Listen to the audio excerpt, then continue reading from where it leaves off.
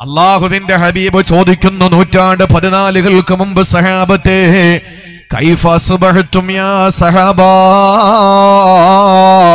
നിങ്ങൾ എങ്ങനെയാണ് നേരം വെളുപ്പിച്ചതെന്ന് പറയാൻ പറ്റുമോ നിങ്ങൾ കിഴക്കന് ചക്രവാളത്തിൽ അരുണ കിരണങ്ങൾ പ്രകടമാകുമ്പോൾ നേരം വെളുത്ത സമയത്ത് നിങ്ങളുടെ അവസ്ഥ എന്താണ്? നിങ്ങൾ എങ്ങനെയാണ് നേരം വെളുപ്പിച്ചത്? നിങ്ങൾ രാത്രി കിടന്നുറങ്ങിയിട്ട് നേരം വെളുത്ത് എഴുന്നേക്കുമ്പോൾ ഏത് കോലത്തിലാണ് ഏത് അവസ്ഥയിലാണ് നിങ്ങൾ എഴുന്നേറ്റതെന്നൊന്ന് പറഞ്ഞു തരുവോ? ആ സമയത്ത് അള്ളാന്റെ ഹബീബിനോട് സഹാബത്ത് പറഞ്ഞ മറുപടി എന്തെന്നറിയോ? അസ്ബഹന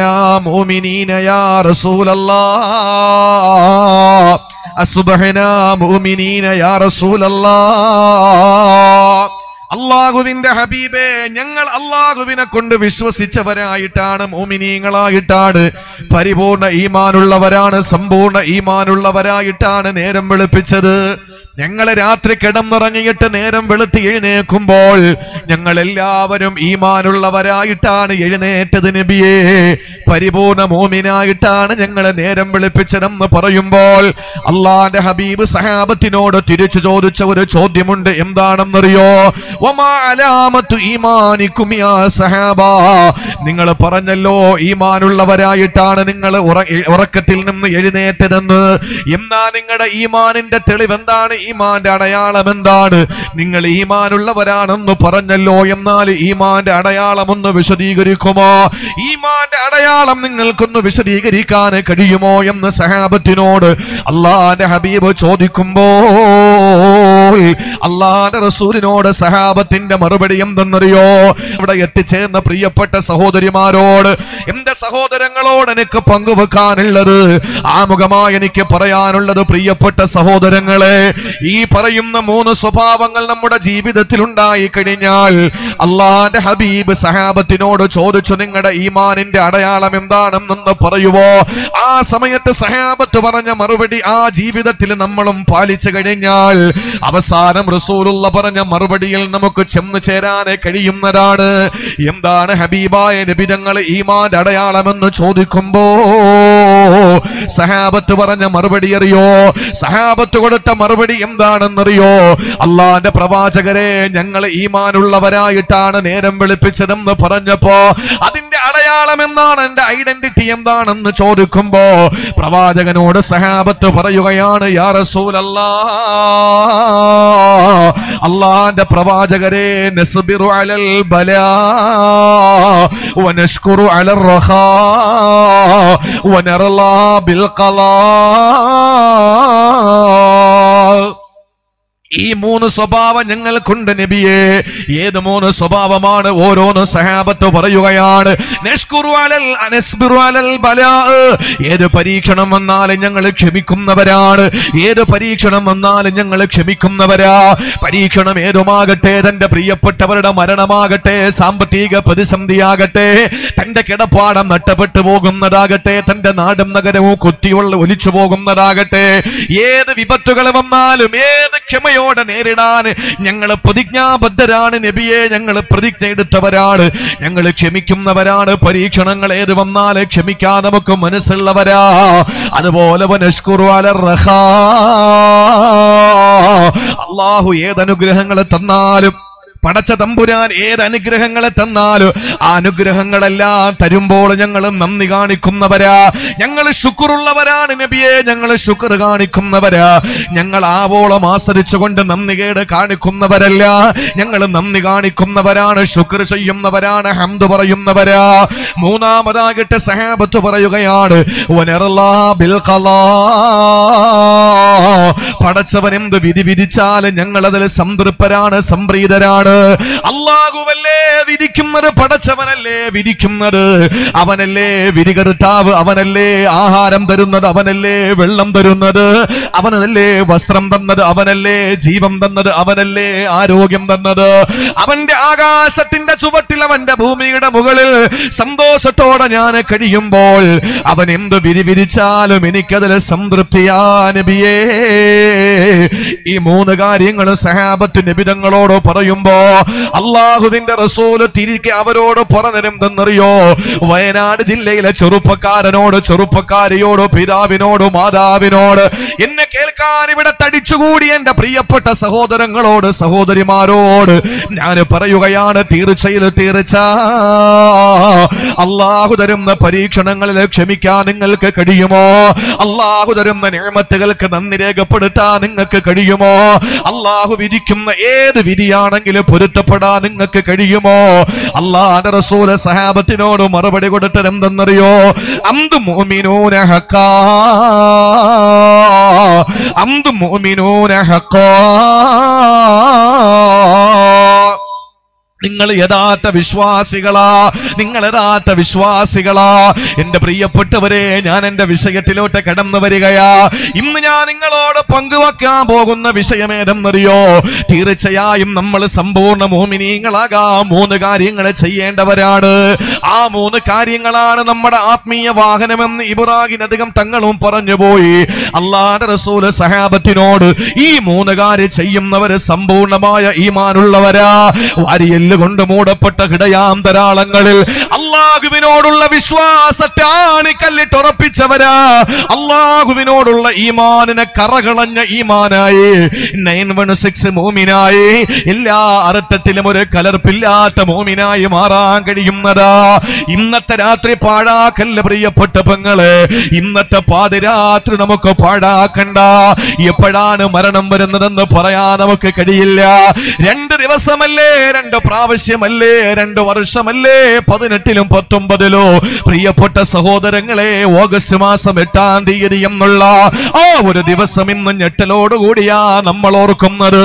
വേറെ ആരെക്കാളും വയനാട് ജില്ലയിലെ ഈ മഹല്ല് സംവിധാനങ്ങളുടെ കീഴിലുള്ള ഓരോരുത്തരും ഭയന്നിട്ടുണ്ട് അറിയുമല്ലോ? പരിശുദ്ധമായ പള്ളിയുടെ മക്കബറയിൽ നിന്ന് മയ്യത്തുകൾ പോലും ഒലിച്ചുപോയ മണ്ണിലാ നമ്മളുള്ളത്. അള്ളാഹുതന്ന അനുഭൂതികൾ അള്ളാഹുതന്ന അനുഗ്രഹങ്ങൾ എന്റെ പ്രിയപ്പെട്ടവരെ ഇന്ന് കേരളത്തിന്റെ എത്രയോ നാടുകളിൽ നിന്ന് ജില്ലകളിൽ നിന്ന് വയനാട് ജില്ല കാണാ ഓടിയെത്തിക്കൊണ്ടിരുന്നത്. താമരശ്ശേരി ചുരം കഴിഞ്ഞിട്ട് വയനാടിന്റെ സുന്ദരമായ പറുദീസയിലേക്ക് കാലെടുത്ത് വെക്കുന്ന മലയാളിയുടെ മനസ്സിൽ ഇന്ന് പേടിയാണ് വയനാട് വരാ. വയനാട് ജില്ലയെന്ന് കേൾക്കുമ്പോഴേ ഭയമാണ്. പക്ഷെ നിങ്ങൾ പേടിച്ചിട്ട് നിങ്ങൾക്ക് എങ്ങോട്ട് പോകാനാ? അതുകൊണ്ട് പ്രിയപ്പെട്ട ഉമ്മത്തെ പ്രിയപ്പെട്ട സമൂഹമേ ഇന്നത്തെ പാടിരാപ്പ് നിങ്ങളെ നട്ടപ്പെടുത്തി കളയല്ലേ നിങ്ങളുടെ ഈമാന സമ്പൂർണമാകാൻ എന്റെ ഈമാ സമ്പൂർണമാകാ. കാരുണ്യത്തിന്റെ പ്രവാചകന് മദീനയുടെ മണവാളനാമിനയുടെ പൊന്നുമോ? അബ്ദുള്ളയുടെ തങ്കക്കുടം നമ്മുടെ ഹൃദയത്തിന്റെ രാജാവ് ജേതാവ് നബി മുഹമ്മദ് മുസ്തഫ. കാരുണ്യത്തിന്റെ കടലേ നബി മുഹമ്മദ് മുസ്തഫ. സ്വലാത്ത് നമ്മൾ കുറയ്ക്കണ്ട. നമ്മുടെ വികാര സ്വലാത്താണ്. ഏത് മലകൾ കുത്തി വലിച്ചാലും ഏത് മലകൾ ഉരുൾപൊട്ടിയാലും ഹബീബിനോടുള്ള അടങ്ങാത്ത അനുരാഗത്തിന്റെ അഭിനിവേശത്തിന്റെ അതിരുകൾ ലംഘിക്കാൻ എന്റെ പ്രിയപ്പെട്ടവരെ നമ്മൾ തയ്യാറായാൽ നമ്മുടെ ഹൃദയത്തിന്റെ ഭിത്തികൾ പ്രവാചക അനുരാഗത്താൽ പൊട്ടിത്തെറിച്ചു പോകട്ടെ. എന്നാൽ തീർച്ചയിൽ തീർച്ച സ്വലാത്തിന്റെ പവർ കൊണ്ട് നമുക്ക് പിടിച്ചു നിൽക്കാൻ കഴിയും. സ്വലാത്തിന്റെ പവർ കൊണ്ട് ഈ കാണുന്ന എല്ലാ ഗിരികളെയും അല്ലാഹു പിടിച്ചു നിർത്തും സംശയമില്ല. ഒരൊറ്റ പർവതങ്ങളെയും ചലിക്കാനല്ല അനുവദിക്കൂല. ഒരൊറ്റ മാമലകളെയും ചലിക്കാനല്ല അനുവദിക്കൂല. അതുകൊണ്ട് സ്വലാത്ത് ലഹരിയാകണേ മുസ്ലിമേ. അള്ളാന്റെ ഹബീബിന്റെ പേര് കേൾക്കുമ്പോ നമുക്ക് സലാത്ത് ആരും പറഞ്ഞു തരേണ്ട ആവശ്യമില്ല. ആരും നമ്മളോട് സ്വലാപ്പ് ചെല്ല് ചൊല്ല് ചൊല്ലെന്ന് പറയേണ്ട ആവശ്യമില്ല. അതുകൊണ്ട് പ്രിയപ്പെട്ടവരെ റസൂലുള്ള പറഞ്ഞ മൂന്ന് ഹദീസുകൾ മൂന്ന് കാര്യങ്ങൾ നമ്മുടെ ജീവിതത്തിൽ ഇവിടെ വെച്ച് പാലിക്കുമെന്ന് പ്രതിജ്ഞയെടുത്ത് ഇവിടെ വെച്ച് തീരുമാനമെടുത്ത് നമ്മൾ പിരിഞ്ഞു പോയാ. നമ്മുടെ ഈമാന സമ്പൂർണമാണെന്ന് നബി മുഹമ്മദ് മുസ്തഫ. ഈ മൂന്ന് കാര്യങ്ങൾ തന്നെയാണ് ഒരു വിശ്വാസിയുടെ വാഹനമെന്ന് മഹാനവറുകളും പറഞ്ഞെങ്കിൽ എന്റെ പ്രിയപ്പെട്ടവരെ ആദ്യത്തെ കാര്യം ഏതാണ്? അള്ളാഹുവിന്റെ റസൂലിനോട് സഹാബത്ത് പറഞ്ഞ ആദ്യത്തെ കാര്യം ഏതാണ്? അലൽ നിങ്ങൾ പരീക്ഷണങ്ങൾ വന്നാ ക്ഷമിക്കുന്നവരാ. ഏത് പരീക്ഷണമാണ് പ്രിയപ്പെട്ടവരെ? നമുക്കെന്ത് പരീക്ഷണമാണ് വന്നത്? നമുക്കെന്ത് പ്രതിസന്ധിയാവുന്നത് വയനാട് ജില്ലക്കാരൊക്കെ പറയാനുള്ളത് ഒരു ഭീകരമായ ഭീകരമായ ഒരു വലിയ ശബ്ദ സ്ഫോടനത്തിന്റെ ശബ്ദം കേട്ടു. കാണുമ്പോഴും മലകളെല്ലാം പൊട്ടി ഒലിക്കുകയാണ്. വയലേലകളെല്ലാം വീടിന്റെ മുറ്റത്ത് വരെ വെള്ളക്കെട്ടുകളായി വള്ളത്തിലാ ഞങ്ങൾ നടന്നതും പോയതുമല്ല. എന്റെ പ്രിയപ്പെട്ടവരെ നിങ്ങൾക്ക് ഇത്ര മാത്രമല്ലേ പറയാൻ കഴിയൂ? എന്നാ നിങ്ങൾക്കറിയുമോ? ഇസ്ലാം മത വിശ്വാസിയായി പോയെന്ന ഒറ്റ കാരണത്തിന്റെ പേരിൽ അള്ളാന്റെ ഹബീബിനെ കൊണ്ട് വിശ്വസിച്ചു എന്ന ഒറ്റ കാരണത്തിന്റെ പേരിൽ ഏകനായ സൃഷ്ടാവിനെ വിശ്വസിച്ചെന്ന ഒറ്റ കാരണത്തിന്റെ പേരിൽ മനുഷ്യബുദ്ധിയെ പരസ്യമാകിട്ട് അവഹേളിക്കുന്ന ശിലാവിഗ്രഹങ്ങളുടെ മുമ്പിൽ കൈകൂപ്പില്ലെന്ന് വാശി പിടിച്ചപ്പോ ഏകനായ അള്ളാഹുവിനെ എന്റെ ഹൃദയത്തിൽ ഞാൻ സൂക്ഷിക്കുന്നു എന്ന് പറഞ്ഞപ്പോൾ അള്ളാന്റെ ഹബീബിനെ ഞാൻ നെഞ്ചോട് ചേർത്ത് പിടിക്കുന്നു എന്ന് പറഞ്ഞപ്പോ മഹാനായ ഹബാബിൽ അറത്തിറളി അള്ളാഹുന്നു അനുഭവിച്ച പീഡനങ്ങൾ നിങ്ങൾക്കറിയോ? ഇന്ന് അങ്ങനെ യു പിയിൽ ഒരു പീഡനം അനുഭവിക്കുന്നില്ല. കാശ്മീരിൽ ഒരു പീഡനം അനുഭവിക്കുന്നില്ല. അതുപോലെ ഡൽഹിയിലോ അതല്ലെങ്കിൽ മറ്റേതെങ്കിലും സംസ്ഥാനങ്ങളിലോ ആസാമിലോ അങ്ങനെ ഏതെങ്കിലും ഉത്തരേന്ത്യയിലെ ഏതെങ്കിലും പ്രദേശങ്ങളിലോ പീഡനം അനുഭവിക്കുന്നില്ല. എന്റെ പ്രിയപ്പെട്ട സഹോദരങ്ങളെ മഹാനായ സയ്യിദുന ഉമർ ബിൻ അൽ ഖത്താബ് റളിയല്ലാഹുവിനെ വഴിവെക്കിൽ വെച്ച് കാണുകയാ. ആ സമയത്ത് ഉമർ അൽ ഫാറൂഖ് തങ്ങൾ ചോദിച്ചു ഹബ്ബാബേ ഇസ്ലാമിലോട്ട് വന്നതിന്റെ പേരിൽ നീ അനുഭവിച്ച ത്യാഗങ്ങളൊന്ന് വിവരിക്കാൻ കഴിയോ? ഇസ്ലാമിൽ നീ വിശ്വസിച്ചെന്ന കാരണത്തിൽ നീ അനുഭവിക്കേണ്ടി വന്ന പീഡനത്തിന്റെ പർവങ്ങൾ ഒന്ന് വിശദീകരിക്കുമോ എന്ന് ചോദിക്കുമ്പോൾ ഉമറിൽ ഫാറൂഖ് തങ്ങളോട് ഹബ്ബാബ് തങ്ങളുടെ മറുപടി എന്തെന്നറിയോ ഇല്ല ഉമറേ വിവരണാതീതമാ അവാച്യമാ അനിർവചനീയമാ അചിന്തനീയമാ. പറയാൻ എനിക്ക് കഴിയൂല ഉമറ്. വേണമെങ്കിൽ ഞാൻ നിനക്ക് കാണിച്ചു തരാ. വേണമെങ്കിൽ ഞാൻ നിനക്ക് കാണിച്ചു തരാ. ഉമർ തങ്ങൾ പറഞ്ഞു ഹബ്ബാബേ ഞാനൊന്ന് കണ്ടോട്ടെ. ആ സമയത്താണ് അദ്ദേഹത്തിന്റെ കമീസ് അങ്ങ് പൊന്തിക്കുകയാ. അദ്ദേഹം ധരിച്ചിരുന്ന ജുബ്ബാങ് ഉയർത്തി കാണിച്ചു കൊടുത്തു. അല്ല അല്ലാ. പ്രിയപ്പെട്ടവരെ പോളിസ്റ്റർ തുണിയെടുത്തിട്ട് മേശപ്പുറത്ത് വിരിച്ചിട്ട് അയൺ ബോക്സ് ഇടുമ്പോൾ ഇസ്തിരി ഇടുന്ന സമയത്തെങ്ങാൻ ചൂട് കൂടിയാൽ ആ പോളിസ്റ്റർ തുണി ഉരുകി പിടിച്ചൊരു ഭാഗത്തിരിക്കുന്നത് പോലെ. തആല മാംസവും അതുപോലെ മജ്ജയും അതുപോലെ ഞരമ്പുകളും എല്ലാം തോലും എല്ലാം കൂടി ഒരുമിച്ച് പല ഭാഗങ്ങളിൽ കൂടി പിടിച്ചിരിക്കുകയാ.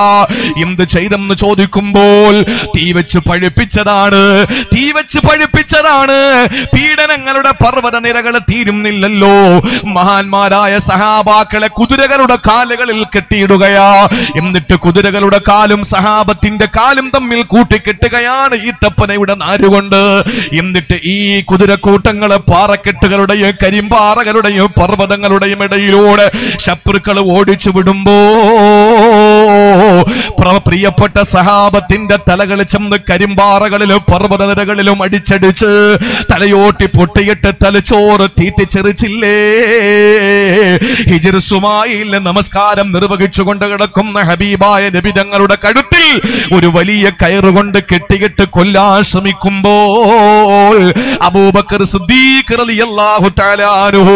ഓടി വന്നവന്റെ കയ്യിൽ നിന്ന് കശ്മലന്റെ കയ്യിൽ നിന്ന് കയറ് പിടിച്ച് കളഞ്ഞില്ലായിരുന്നെങ്കിൽ കാരുണ്യത്തിന്റെ തിരുദൂതരുടെ കഴുത്ത് മുറുകിയിട്ട് മരിച്ചു പോകുമായിരുന്നല്ലോ അവിടെയാണ് റസൂലുള്ള കിടക്കുന്ന സമയത്ത് പ്രിയപ്പെട്ടവരെ ഒട്ടകത്തിന്റെ ചീഞ്ഞളിഞ്ഞ കുടൽമാലകളെ കഴുത്തിൽ ചാർത്തി കൊടുത്തത് അവിടെയാണ് സുമയ്യ ബീവി എന്ന അള്ളാഹുവിനെ കൊണ്ട് വിശ്വസിച്ചതിന്റെ പേരിൽ ആദ്യമായിട്ട് സ്ത്രീകളിൽ നിന്ന് രക്തസാക്ഷിത്വം പുഞ്ചിരിയോടെ സ്വീകരിച്ച സുമയ്യാറിയുടെ രഹസ്യാവയവത്തിലൂടെ ഇരുമ്പ് കമ്പി കുത്തിക്കയറ്റിയത് അവിടെയാണ് അമ്മാർ യാസർ. അവിടെ അവിടെ ഏറ്റവും ഏറ്റവും മോശമായ ഹീനമായ നിലയിൽ പീഡിക്ക പീഡിപ്പിക്കപ്പെട്ടത്.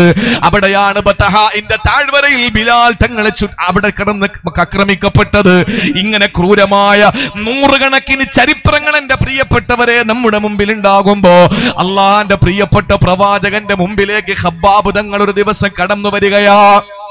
പരിശുദ്ധ കൈബാലയത്തിന്റെ തണലിൽ കൈബാലയത്തിന്റെ തണലിൽ അള്ളാഹുവിന്റെ റസൂൽ വിശ്രമിക്കുമ്പോ മണൽത്തരികളിൽ കിടന്നിട്ട് വലിയ പാറക്കല്ലിലെ തല വെച്ചിട്ട് റസൂലുള്ള കൈബാലയത്തിന്റെ ആ തണലിൽ ഇങ്ങനെ വിശ്രമിച്ചിരിക്കുമ്പോഴാ തങ്ങൾ കടന്നു വരുന്നത്. എന്നിട്ട് ചോദിച്ചു നബിയേ അലാ തൻസുറുലനാ അലാ ലനാ? ഞങ്ങൾക്ക് വേണ്ടി ഒന്ന് ദുആ ചെയ്തൂടെ. ഞങ്ങൾ അനുഭവിക്കുന്ന പീഡനങ്ങൾ താങ്ങാൻ പറ്റുന്നില്ല നബിയെ. ഞങ്ങൾ അനുഭവിക്കുന്ന മാനസിക വെപ്രാളം സഹിക്കാൻ പറ്റുന്നില്ല. ശാരീരിക പീഡനങ്ങൾക്ക് അറുതി വരുന്നില്ല. അതുകൊണ്ടൊന്ന് സഹായത്തിനു വേണ്ടി റബ്ബിനോട് കൈകൾ നീട്ടിക്കൂടെ. അള്ളാഹുവിനോടൊന്ന് ദുആ ചെയ്തൂടെ എന്ന് ചോദിക്കുമ്പോ സഹാബത്തിനോട് റസൂലുള്ള പറഞ്ഞു കൊടുത്ത രണ്ട് ഉദാഹരണങ്ങളുണ്ട്. രണ്ട് മുൻഗാമികളുടെ ചരിത്രത്തിന്റെ ശകലങ്ങളുണ്ട്. അള്ളാഹ് റസൂൽ ഖബ്ബാബിനോട് പറയുന്നു ഖബ്ബാബേ എന്തിനാ നീ ഇങ്ങനെ ധൃതിപ്പെടുന്നത്? അല്ല നബിയെ സഹിക്കാൻ പറ്റാത്തത് കൊണ്ടാ. അള്ളാന്റെ റസൂൽ പറഞ്ഞു ഖബ്ബാബേ കഴിഞ്ഞു പോയ കാലഘട്ടത്തിൽ രണ്ട് ചെവിവാക്കൾ ഉണ്ടായിരുന്നു. അതിൽ ഒരാളെ പിടിച്ചു കുഴിയിലേക്ക് ഇറക്കി നിർത്തിയിട്ട് മൂർച്ചയുള്ള വാൾ കൊണ്ട് തലയിലേക്ക് വെച്ചിട്ട് രണ്ടായിട്ട് പിളർത്തിയിട്ടു. പക്ഷെ ദീനില്ല. അള്ളാന്റെ പരിശുദ്ധ ദീനിൽ നിന്ന് പിന്നോട്ട് മാറാൻ ആ മനുഷ്യൻ തയ്യാറായില്ല. രണ്ടാമത്തെ വ്യക്തിയെ കൊണ്ടുവന്ന് ഇരുമ്പിന്റെ ചീർപ്പ് കൊണ്ട് അയാളുടെ ശരീരം മുഴുവനും വാർന്നെടുത്തു. എന്നിട്ടും അല്ലാന്റെ ദീനിൽ നിന്ന് അദ്ദേഹത്തെ പിന്നിലോട്ട് മാറ്റാൻ കഴിഞ്ഞില്ല. ഇത് സത്യപ്രസ്ഥാനത്തിന് വേണ്ടിയിട്ടല്ല ഹബ്ബാബേ? അള്ളാന്റെ റിപ്പോ അള്ളാന്റെ അനുവാദം പടച്ചവന്റെ ഓർഡർ വരാത്തത് കൊണ്ടാ തിരിച്ചടിക്കാത്തത്. അള്ളാഹുവിനോട് ദുവാ ചെയ്യാൻ എന്തുകൊണ്ടും മടിക്കുന്നു എന്ന് ചോദിച്ചപ്പോൾ അള്ളാഹു വലിയ പ്രതിഫലം വാഗ്ദാനം ചെയ്തിരിക്കുകയാണ്. എന്ന് പറഞ്ഞിട്ട് ഹബാബ് തങ്ങളെ തിരുത്തുമ്പോൾ എന്റെ പ്രിയപ്പെട്ട സഹോദരങ്ങളെ സഹോദരിമാരെ അള്ളാന്റെ പ്രിയപ്പെട്ട പ്രവാചകന് സഹാബത്തും അനുഭവിച്ച ത്യാഗങ്ങളുടെ മുമ്പിൽ നമ്മൾ ഒന്നും അനുഭവിക്കുന്നില്ല. നമ്മളൊന്നും പ്രയാസം അനുഭവിക്കുന്നില്ല. നമ്മൾ ആരും വലിയ രീതിയിലുള്ള പരീക്ഷണങ്ങളൊന്നും ഏറ്റുവാങ്ങുന്നില്ല. അവരെല്ലാ പരീക്ഷണങ്ങൾ ഏറ്റുവാങ്ങുമ്പോൾ അള്ളാഹു റബ്ബുൽ അവർക്ക് കൊടുക്കുന്ന ഏറ്റവും ഉന്നതമായ പ്രതിഫലത്തെ പറ്റി അവർ ഓർക്കുന്നവരായിരുന്നു. അതാണ് അവരുടെ ക്വാളിറ്റി അതുകൊണ്ട് സഹാബത്തിന്റെ ഈമാന് നമുക്ക് ലഭിക്കണമെങ്കിൽ ആദ്യമായി നമ്മൾ ചെയ്യാനുള്ളത് ഏത് പരീക്ഷണം വന്നാൽ ക്ഷമയോടെ നേരിടലാണെന്ന് കാരുണ്യത്തിന്റെ പ്രവാചകൻ നബി മുഹമ്മദ് മുസ്തഫ. അള്ളാഹു തൗഫീക്ക് നൽകട്ടെ. ഏത് പരീക്ഷണം വന്നാലും അതിനെ സ്വീകരിക്കാനും അതിനെ ക്ഷമയോടെ നേരിടാനുമുള്ള നമ്മുടെ ഒരു ചങ്കുറപ്പ്. എന്റെ പ്രിയപ്പെട്ട സഹോദരങ്ങളെ പരീക്ഷണങ്ങൾ ഏതോ വന്നോട്ടെ നമുക്കെന്താ? അള്ളാഹു തന്ന ബോഡി അള്ളാഹു തന്ന റൂഹ് അവൻ തരുന്ന ഭക്ഷണം അവൻ തരുന്ന വെള്ളം അവൻ തരുന്ന വായു അവൻ തരുന്ന എല്ലാ സൗഭാഗ്യങ്ങളും അവൻ എന്തും ചെയ്യാനുള്ള സ്വാതന്ത്ര്യമുണ്ട്. ഫെയിലുക്കുല്ലി മുംകിനിൻ ഔ തർക്കുഹു. എന്തു ചെയ്യാനും എന്തും ഉപേക്ഷിക്കാനും അവന് സർവ സ്വാതന്ത്ര്യമുണ്ട് അവൻ ചെയ്തോട്ടെ. നമുക്ക് ക്ഷമിക്കുകയല്ലാതെ വേറെ ഒരു നിർവാഹവുമില്ല. നിങ്ങൾക്കറിയോ ഇന്ന് ചില ആളുകളുടെ മുഖത്ത് നോക്കുമ്പോ അവർക്ക് ചിരിയാണ്. ചില ആളുകൾ സന്തോഷത്തോടെ ചിരിച്ചുകൊണ്ട് നടക്കും. നമ്മൾ കരുതുന്നത് എന്താണ്? അവന് ദുഃഖങ്ങളും പ്രയാസങ്ങളും ഒന്നുമില്ല. അവൻ കൃത്യമായി സന്തോഷത്തിലാണ് അവന്റെ ജീവിതമെന്ന് ചിന്തിക്കുന്നവരാണ് നമ്മൾ. ഇല്ലേ? പക്ഷേ അവൻ ചിരിച്ചുകൊണ്ട് നടക്കുന്നെങ്കിലും അവന്റെ ഹൃദയത്തിൽ ഒരു വിങ്ങുന്ന ഒരു നിമിഷമുണ്ട്. അത് നമ്മൾ ആരും മനസ്സിലാക്കാറില്ല. നമ്മൾ നോക്കുമ്പോൾ വളരെ സന്തോഷത്തോടു കൂടി ചില ആളുകൾ നടക്കും. പക്ഷേ അവരുടെ ഹൃദയത്തിലുള്ള വേദനകൾ നമ്മൾ ആരും തിരിച്ചറിയാറില്ല. അതവർ പുറം ലോകത്ത് അറിയിക്കാറുമില്ല. ഒരാൾ പറഞ്ഞത് എന്താണ്? മഴയത്ത് നടക്കാനാണ് എനിക്കിഷ്ടം. കാരണം ഞാൻ കരയുന്നത് മറ്റാരും കാണൂല. മഴയത്ത് നടക്കാനാണ് എനിക്കിഷ്ടം. കാരണം ഞാൻ കരയുന്നത് മറ്റാരും കാണില്ല. അങ്ങനെ ആളുകൾ നമ്മുടെ ഇടയിലുണ്ട്. അവരെപ്പോഴും ചിരിക്കും. പക്ഷേ ഹൃദയം അവർക്ക് പെടപെട പടയ്ക്കുന്നുണ്ടാവും. ഭർത്താക്കന്മാരിൽ ഒരു തൊണ്ണൂറ് ശതമാനവും അങ്ങനെയാണ്. ഭാര്യമാരെ ഒരു വേദനയും അറിയിക്കില്ല. വാപ്പ പിതാക്കന്മാരിൽ ഒരു തൊണ്ണൂറ് ശതമാനവും അങ്ങനെയാണ്. ഒരിക്കലും മക്കളെ അവരുടെ വേദനകൾ അറിയിക്കില്ല. മക്കൾ പലരും അങ്ങനെയാണ്. ഉമ്മയും വാപ്പയും ഇതൊന്നും അറിയണ്ട എന്ന് കരുതും. നമ്മൾ കരുതുന്ന എന്താണ്? ഓടിച്ചാടി നടക്കുന്നു ചിരിക്കുന്നു. എത്ര സന്തോഷം എത്ര ഹാപ്പി. നമ്മൾ കരുതുന്നതാണ് അവന് ഒരു വിഷമവും ഇല്ല. എന്തൊരു നല്ല ജീവിതം അവന് ഹാപ്പി ജീവിതം. നമ്മൾ പലരും കരുതും. പക്ഷേ അവന്റെ ഉള്ളിന്റെ ഉള്ളിലേക്ക് നമ്മൾ ഇറങ്ങി ചെല്ലുമ്പോൾ നമ്മൾ ഞെട്ടിപ്പോകും അവരുടെ ഓരോ കാര്യങ്ങൾ കേൾക്കുമ്പോൾ. പരിശുദ്ധ കഴബാലയത്തിന്റെ മത്താഫിൽ ഒരു സ്ത്രീ സുന്ദരിയായ ഒരു പെണ്ണ് നിൽക്കുകയാണ്. ആ സമയത്ത് അബുൽ ഹസൻ റഹിമഹുല്ല അതുവഴി ഇങ്ങനെ തവാഫ് ചെയ്ത് വരുമ്പോൾ ഈ പെണ്ണ് ഇങ്ങനെ ചിരിച്ചുകൊണ്ട് നിൽക്കുകയാണ്. സുന്ദരിയാണ് ചിരിച്ചുകൊണ്ട് നിൽക്കുന്ന ഒരു പെണ്ണിനെ കണ്ടപ്പോഴേക്കും അബുൽ ഹസൻ റഹിമഹുല്ല പറഞ്ഞു ഈ പെണ്ണ് ഇന്ന് വരെ വേദന എന്തെന്ന് അറിഞ്ഞിട്ടില്ല എങ്കിൽ ഇങ്ങനെ ചിരിക്കൂലല്ലോ എന്ന് പറഞ്ഞു. ഈ പെണ്ണ് ഇന്ന് വരെ എന്താണ് പ്രതിസന്ധിയും വിഷമോ എന്ന് അറിഞ്ഞിട്ടില്ല. അങ്ങനെയാണെങ്കിൽ ഈ പെണ്ണ് ഇവിടെ ചിരിക്കൂല. കാരണം ഇവിടെ വരുന്നവര് കരയാനാ വരുന്നത്. ചെയ്തുപോയ അപരാധങ്ങളുടെ കണക്കുകൾ പരിശുദ്ധമായ ഹജറുൽ അസ്വദിന്റെ മുമ്പിൽ വന്ന് മുത്തം കൊടുത്ത് പൊട്ടിക്കരഞ്ഞ് ആ കഴുപാലയത്തിന്റെ ചാരത്ത് ചെയ്തുപോയ അപരാധങ്ങളുടെ കെട്ടഴിച്ചു വെക്കാൻ ഓടിയെത്തുന്ന പതിനായിരക്കണക്കിന് ലക്ഷക്കണക്കിന് ആളുകൾ അവരുടെ മാനസിക വിഭ്രാന്തികൾ അവരുടെ മാനസിക ദുഃഖങ്ങൾ അതൊക്കെ ഇറക്കി വെക്കാൻ വേണ്ടി കഴവാലയത്തിൽ വരുന്നവർ ആരെങ്കിലും ചിരിച്ചുകൊണ്ട് കഴവാലയത്തിൽ നടക്കുവോ? ഇല്ല. അവർ വിങ്ങിപ്പൊട്ടുന്നുണ്ടാവും അത് മുഖത്ത് പ്രതിഫലിപ്പിക്കുകയും ചെയ്യും. പക്ഷേ ഈ പെണ്ണിങ്ങനെ ചിരിച്ചുകൊണ്ട് നിൽക്കുക. അബുൽ ഹസൻ തങ്ങൾ പറഞ്ഞു എവക്ക് നടന്നു പോകുന്നതിനിടെ പറഞ്ഞതാ ഇവൾ ഇന്ന് വരെ എന്താ വിഷമം അറിഞ്ഞിട്ടില്ല. എങ്കിൽ പിന്നെ ഇങ്ങനെ നിൽക്കോ എന്ന് ചോദിച്ചു. അബുൽ ഹസൻ തങ്ങൾ ഒരു ചുറ്റൂടെ ചുറ്റി വന്നപ്പോൾ പെണ്ണ് പിടിച്ചു. നിൽക്കവിടെ അവിടെ. നിൽക്ക് നിങ്ങൾ എന്താ പറഞ്ഞത്? എന്റെ ജീവിതത്തിൽ പ്രയാസങ്ങളൊന്നും ഉണ്ടായിട്ടില്ല അല്ലേ? നിങ്ങൾക്കറിയണോ? നിങ്ങൾക്കറിയണോ? വല്ലാഹി ഇന്നീല ബിൽ അഹ്സാ. ഫുആദി ബിൽ ഹുമൂമി വൽ അസ്ജാ.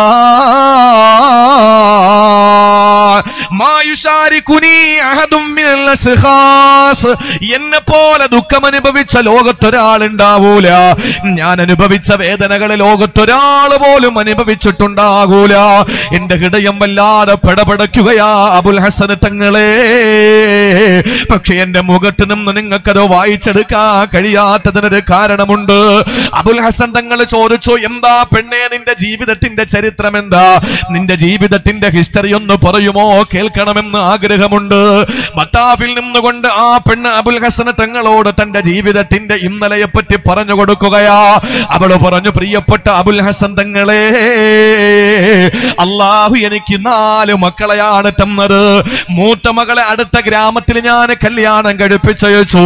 പിന്നെയുള്ള രണ്ട് കുട്ടികൾ ഇരട്ട കുട്ടികളാണ് പ്രായം രണ്ടു വയസ്സാ. അതിന്റെ താഴെ ഉള്ളത് ആറുമാസം പ്രായമുള്ള പൊന്നുമോനാ.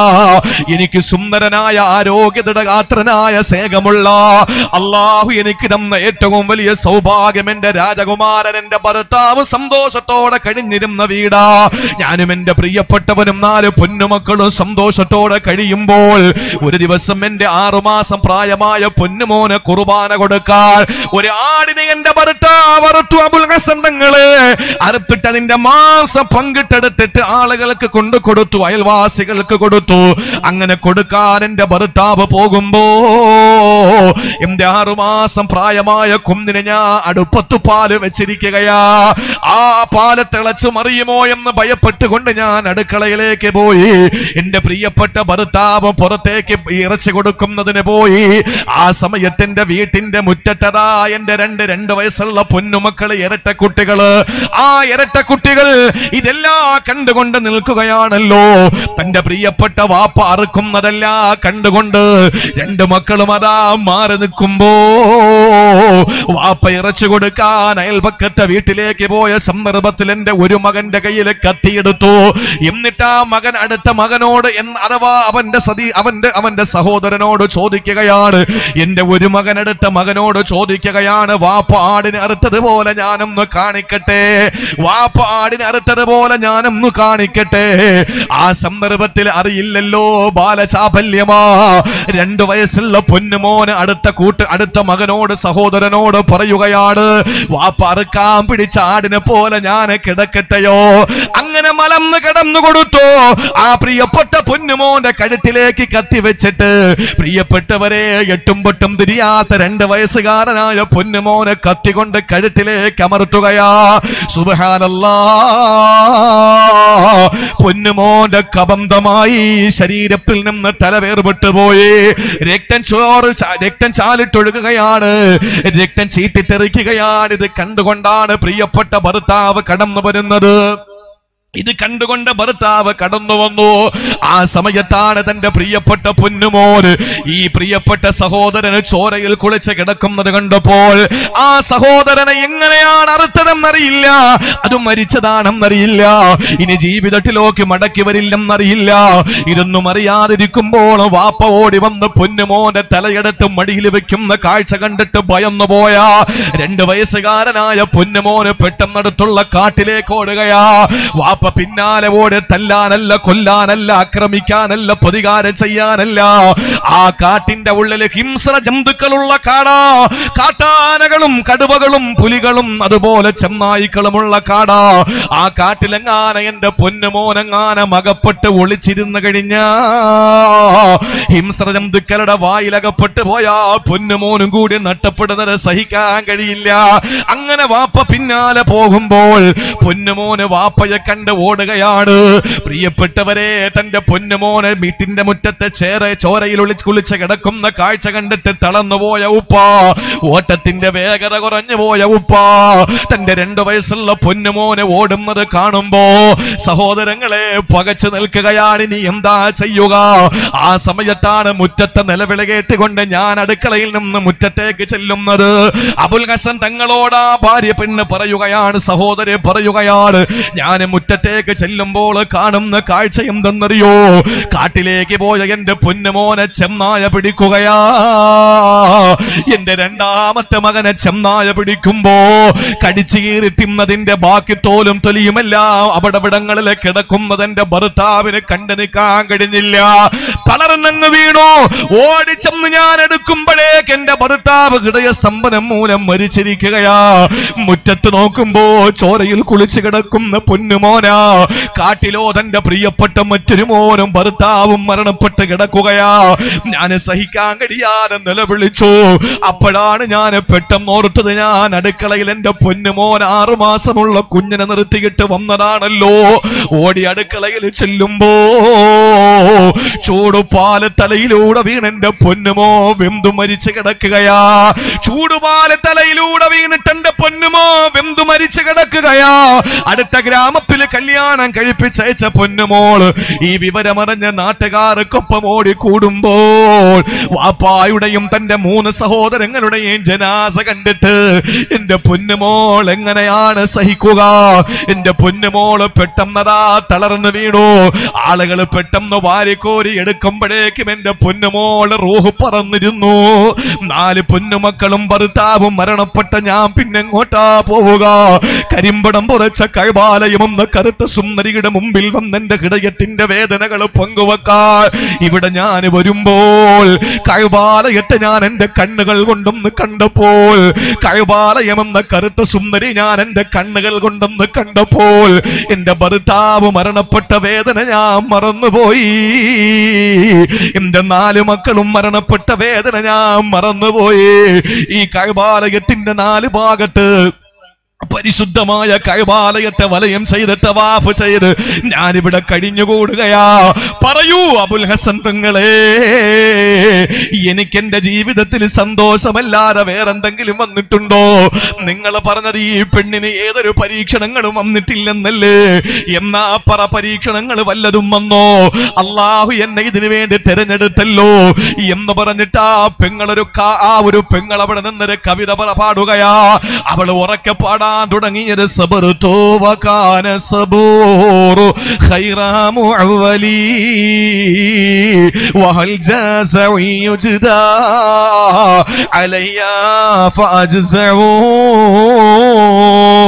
صبرت على ماله تحمل بعضه. جبال غرور الناس بحتى تصدوا ആ പെണ്ണ് കൈവാലകത്തിൽ നിന്ന് പാടിയ പാട്ട് എന്താണെന്നറിയോ ഞാൻ ക്ഷമിക്കുകയാണ് ക്ഷമയല്ലാതെ വേറെ എന്ത് ചെയ്യാനാ? അക്ഷമ കാണിച്ചത് കൊണ്ട് എനിക്ക് എന്റെ ഭർത്താവിനെ തിരിച്ചു കിട്ടുവോ? എന്റെ സ്നേഹമുള്ള നാല് പൊന്നുമക്കളെയും തിരിച്ചു കിട്ടുവോ? ഇല്ലല്ലോ. എനിക്കല്ലാഹു തന്ന പരീക്ഷണമെങ്ങാൻ.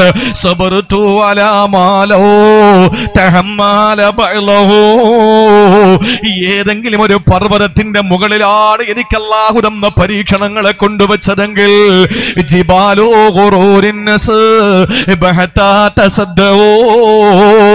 ആ പർവതം പപ്പടം പോലെ പൊടിഞ്ഞു പോകുമായിരുന്നു താങ്ങാൻ പറ്റൂല. പർവതങ്ങൾക്ക് താങ്ങാൻ പറ്റാത്ത ഏറ്റവും വലിയ പരീക്ഷണങ്ങളാ പടച്ചവൻ എനിക്ക് തന്നത്. ഈ വയനാട് ജില്ലയിലെ ഏതെങ്കിലും ഒരു സഹോദരിക്ക് പറയാൻ കഴിയോ?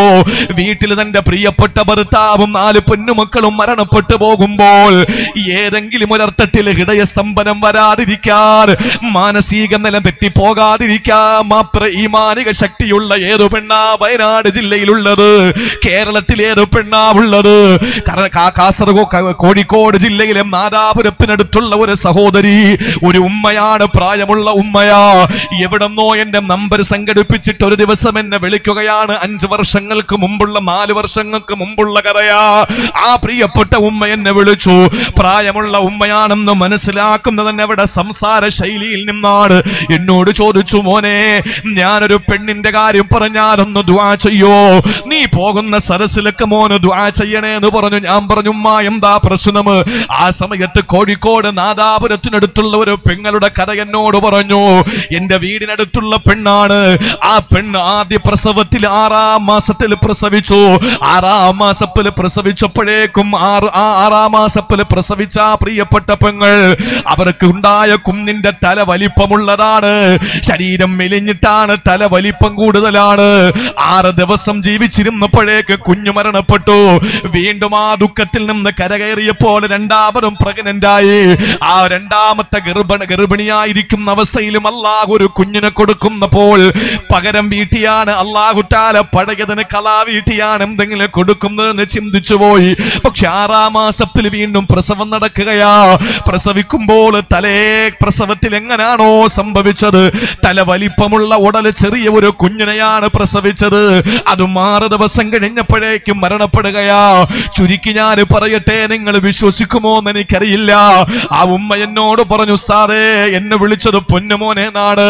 എന്നിട്ട് എന്നോട് പറഞ്ഞു പൊന്നുമോനെ എട്ട് തവണ ആ പെങ്ങൾ പ്രസവിച്ചു ഒമ്പതാമതും പ്രസവിച്ചിപ്പോൾ. അങ്ങനെ ഒൻപത് പ്രസവത്തിലും ആറാം മാസത്തിൽ പ്രസവം നടന്നു.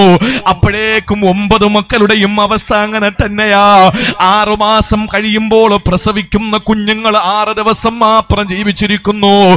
തല വലിപ്പമാണ് ഉടലിന് വലിപ്പം കുറവാ. ആ പെണ്ണെന്താ ഇപ്പൊ പറയുന്നതെന്നറിയോ മോനെ? എന്നോട് പറയുന്നു പടച്ചവൻ എന്നെ തെരഞ്ഞെടുത്തല്ലോ ഇതിനു വേണ്ടിയിട്ട്. അള്ളാഹ് എന്നോട് സ്നേഹമുള്ളത് കൊണ്ടാണല്ലോ. പടച്ചവൻ എന്നെ പരീക്ഷിക്കുന്നത് എന്നോട് ഇഷ്ടമുള്ളത് കൊണ്ടാണല്ലോ. ഒരുപക്ഷേ കേരളത്തിൽ ഇങ്ങനെ ഒരു സംഭവം റിപ്പോർട്ട് ചെയ്യപ്പെട്ടിട്ടില്ല. അപ്പൊ ഈ കേരളത്തിൽ കാസർഗോഡ് ജില്ല മുതൽ തിരുവനന്തപുരം ജില്ല വരെയുള്ള മുഴുവൻ സ്ത്രീകളിലും അള്ളാഹു എനിക്കാണല്ലോ ഈ ഭാഗ്യം തന്നത്. ഒമ്പത് പ്രസവിക്കാനും ആ പ്രസവത്തിൽ ഒമ്പത് കുഞ്ഞുങ്ങളെയും വളർത്താനും മുലപ്പാൽ കൊടുക്കാനും സ്തനപാനം നടത്താനും കഴിയാനുള്ള ഭാഗ്യമില്ലാതെ ആറ് ദിവസങ്ങൾക്ക് ശേഷം ഞാൻ ഒന്ന് പ്രസവിച്ച എന്റെ ആറ് ഒമ്പത് മക്കളും മരണപ്പെട്ടു പോയെങ്കിൽ ഇനിയും എനിക്ക് പ്രസവിക്കണം എന്റെ മരണം വരെയും പ്രസവിക്കണം. എന്നിട്ട് ധാരാളം മക്കളെ ഇതുപോലെ പടച്ചവന് വേണ്ടി തിരികെ കൊടുക്കണം. എന്നിട്ട് അള്ളാഹുവിന്റെ ഇഷ്ടം എനിക്ക് കരസ്ഥമാക്കണമെന്ന് പറഞ്ഞ ഒരു പെങ്ങളുണ്ട്. വയനാട് ജില്ലയിൽ ഇങ്ങനെ ഒരു പരീക്ഷണം നേരിട്ട പെങ്ങളുണ്ടോ? ഓരോരുത്തരുടെ പരീക്ഷണങ്ങളുടെ മുമ്പിൽ നമ്മുടെ പരീക്ഷണങ്ങൾ ഒരു പരീക്ഷണമല്ലല്ലോ. ജീവിതത്തിൽ നമ്മൾ അനുഭവിക്കുന്ന കൊച്ചു കൊച്ചു പരീക്ഷണങ്ങളും വിഷമങ്ങളും വരുമ്പോ അത് നമുക്ക് പർവത തുല്യമായി തോന്നാറുണ്ട് പക്ഷേ അത് മറ്റുള്ളവരിലേക്ക് തട്ടിച്ചു നോക്കുമ്പോൾ പരീക്ഷണമൊന്നുമല്ല.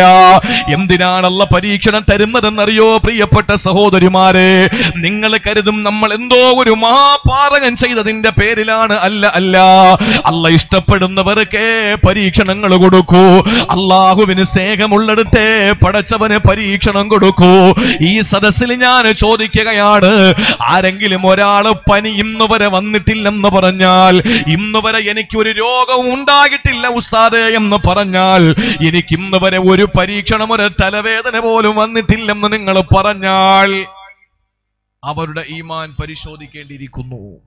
അവരുടെ ഈമാൻ പരിശോധിക്കേണ്ടിയിരിക്കുന്നു. നബിതങ്ങൾ പനി പിടിക്കുന്നവന്റെ മഹത്വത്തെ സംബന്ധിച്ച് പ്രതി- പ്രതിപാദിച്ച് പ്രസംഗിച്ചു കൊണ്ടിരിക്കുമ്പോൾ അള്ളാഹുവിന്റെ റസൂലിന്റെ മുന്നിൽ ഒരാൾ എഴുന്നേറ്റ് നിന്നിട്ട് ചോദിച്ചു മൽഹുമായ റസൂലല്ല? എന്താ ഈ പനി? ഈ പനി എന്താണെന്ന് ചോദിച്ചു. ആ സമയത്ത് അള്ളാന്റെ റസൂൽ എന്താണ് പനി? ഇന്ന് വരെ എനിക്ക് പനി വന്നിട്ടില്ല എന്ന് പറഞ്ഞപ്പോഴേക്കും അള്ളാന്റെ റസൂൽ പറഞ്ഞു കും ലസ്തമിന്ന എഴുന്നേക്ക് നീ എന്നിൽപ്പെട്ടവനല്ല. എന്നിൽപ്പെട്ടവനാകണമെങ്കിൽ പരീക്ഷണങ്ങൾ എന്താണെന്ന് അറിയണം. തീ തൊടാത്ത തങ്കത്തിന് തിളക്കമുണ്ടോ? തീ തൊടുന്ന തങ്കത്തിനല്ലേ തിളക്കമുള്ളൂ? തീയിൽ വെച്ച് കാച്ചിയെടുക്കുന്ന സ്വർണത്തിനാണ് മാറ്റുകൂടുന്നത്. അള്ളാഹു പരീക്ഷണങ്ങൾ തരുന്ന നമ്മുടെ ഈമാനെ പരിശോധിക്കാൻ വേണ്ടിയിട്ടാണ്. അതുകൊണ്ട് വയനാട് ജില്ലക്കാർക്ക് അള്ളാഹു ഒരുപാട് പരീക്ഷണങ്ങൾ തന്നിട്ടുണ്ട്. അള്ളാഹു നിങ്ങളെ തെരഞ്ഞെടുത്തിരിക്കുകയാണ്. അള്ളാഹു അത് നിലനിർത്തി തരട്ടെ.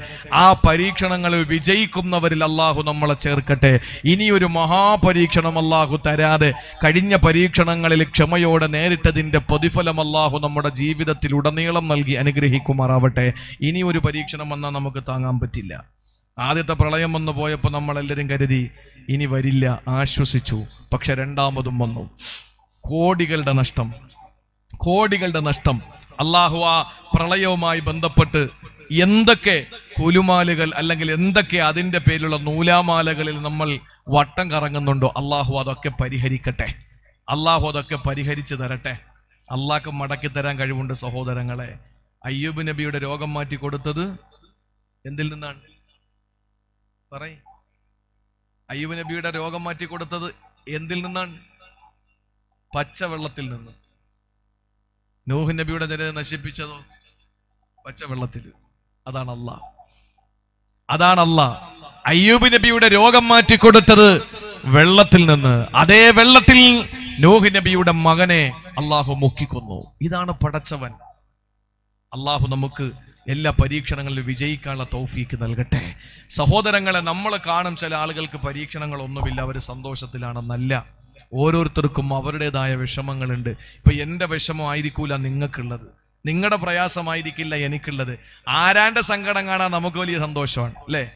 അപ്പുറത്തെ വീട്ടിൽ എന്തെങ്കിലും ദുഃഖം വരുമ്പോൾ അത് കണ്ടുകൊണ്ടിരിക്കാനും ആശ്വസിപ്പിക്കാനും ആശ്വസിപ്പിക്കാനൊക്കെ നമുക്ക് വലിയ താല്പര്യമാണ്. ഒരു ദിവസം നബി അലൈഹി സ്വലമ തങ്ങൾ നടന്നു പോകുമ്പോൾ ഒരു പെണ്ണ് കവറിനെടുത്തിരുന്നിട്ട് ഇങ്ങനെ കരയാൻ ആ സമയത്ത് നബി തങ്ങൾ അടുത്ത് നിന്നിട്ട് പറഞ്ഞു പെണ്ണെ എന്നിട്ട് പോ.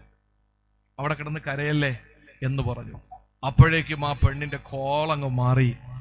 അവൾ അള്ളാന്റെ റസൂലിന്റെ നേരെ വിരൽ ചൂണ്ടിയിട്ട് പറഞ്ഞു നിങ്ങളുടെ മോനാണ് മരിച്ചെങ്കിൽ നിങ്ങൾക്കത് പറയാൻ പറ്റുമോ? ഇത് എന്റെ മോൻ മരിച്ചു കിടക്കുന്ന കബറ എനിക്ക് കരയാതിരിക്കാൻ പറ്റുമോ? നിങ്ങൾക്കത് പറയാം. നിങ്ങളുടെ മോനല്ലല്ലോ മരിച്ചത്.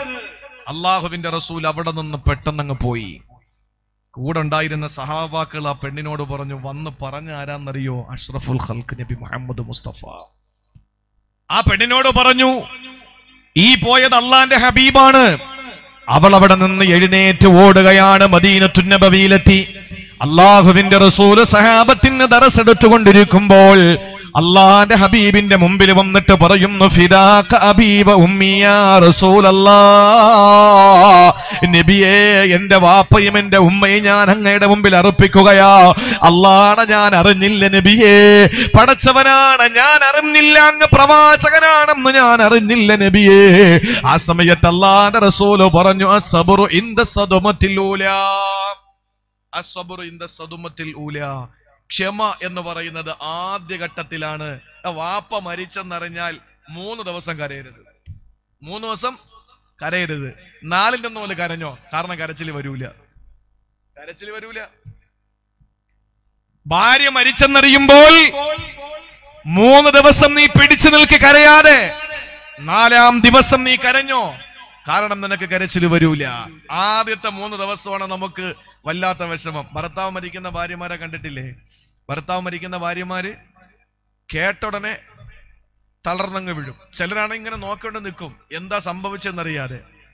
അത് കഴിഞ്ഞാൽ പിന്നെ നെഞ്ചത്തടിയും കരച്ചിലും തുടങ്ങും. ആൾ കൂടുന്നതനുസരിച്ചാണ് അവരുടെ പെർഫോമൻസ് ആൾ കൂടുന്നതനുസരിച്ചാണ്. ചിലര് നൈറ്റ് ഒക്കെ കിട്ടിയൊരു അവസരമല്ലേ? വലിച്ചങ്ങോട്ട് കീറി അങ്ങോട്ട് കളയും മുടിയൊക്കെ എടുത്ത് ഭദ്രകാളിയെ പോലെ മുന്നോട്ടിടും എന്നിട്ട് അല അലറി വിളിക്കും ഇങ്ങനെ ആക്രമിക്കാൻ വരുന്നത് പോലെ ഇരിക്കും എന്നിട്ട് ഇടയ്ക്കിടയ്ക്ക് ഇങ്ങനെ ആലോചിച്ചിരുന്നിട്ട് വീണ്ടും അങ്ങ് വീഴും. എന്നിട്ട് രണ്ടാം ദിവസം മരണപ്പെട്ടതിന്റെ പിറ്റേ ദിവസം പറയുന്നത് എന്താ? എനിക്കിനി ആരാണ് എനിക്കിനി ആരാ? എനിക്കിനി ആരാ? ഞാൻ രണ്ടാം കെട്ടുകാരി ആയി പോയില്ല. ഇനി എനിക്ക് ആരാണ് എന്ന് പറഞ്ഞിട്ട് പെണ്ണുങ്ങൾ കരയും.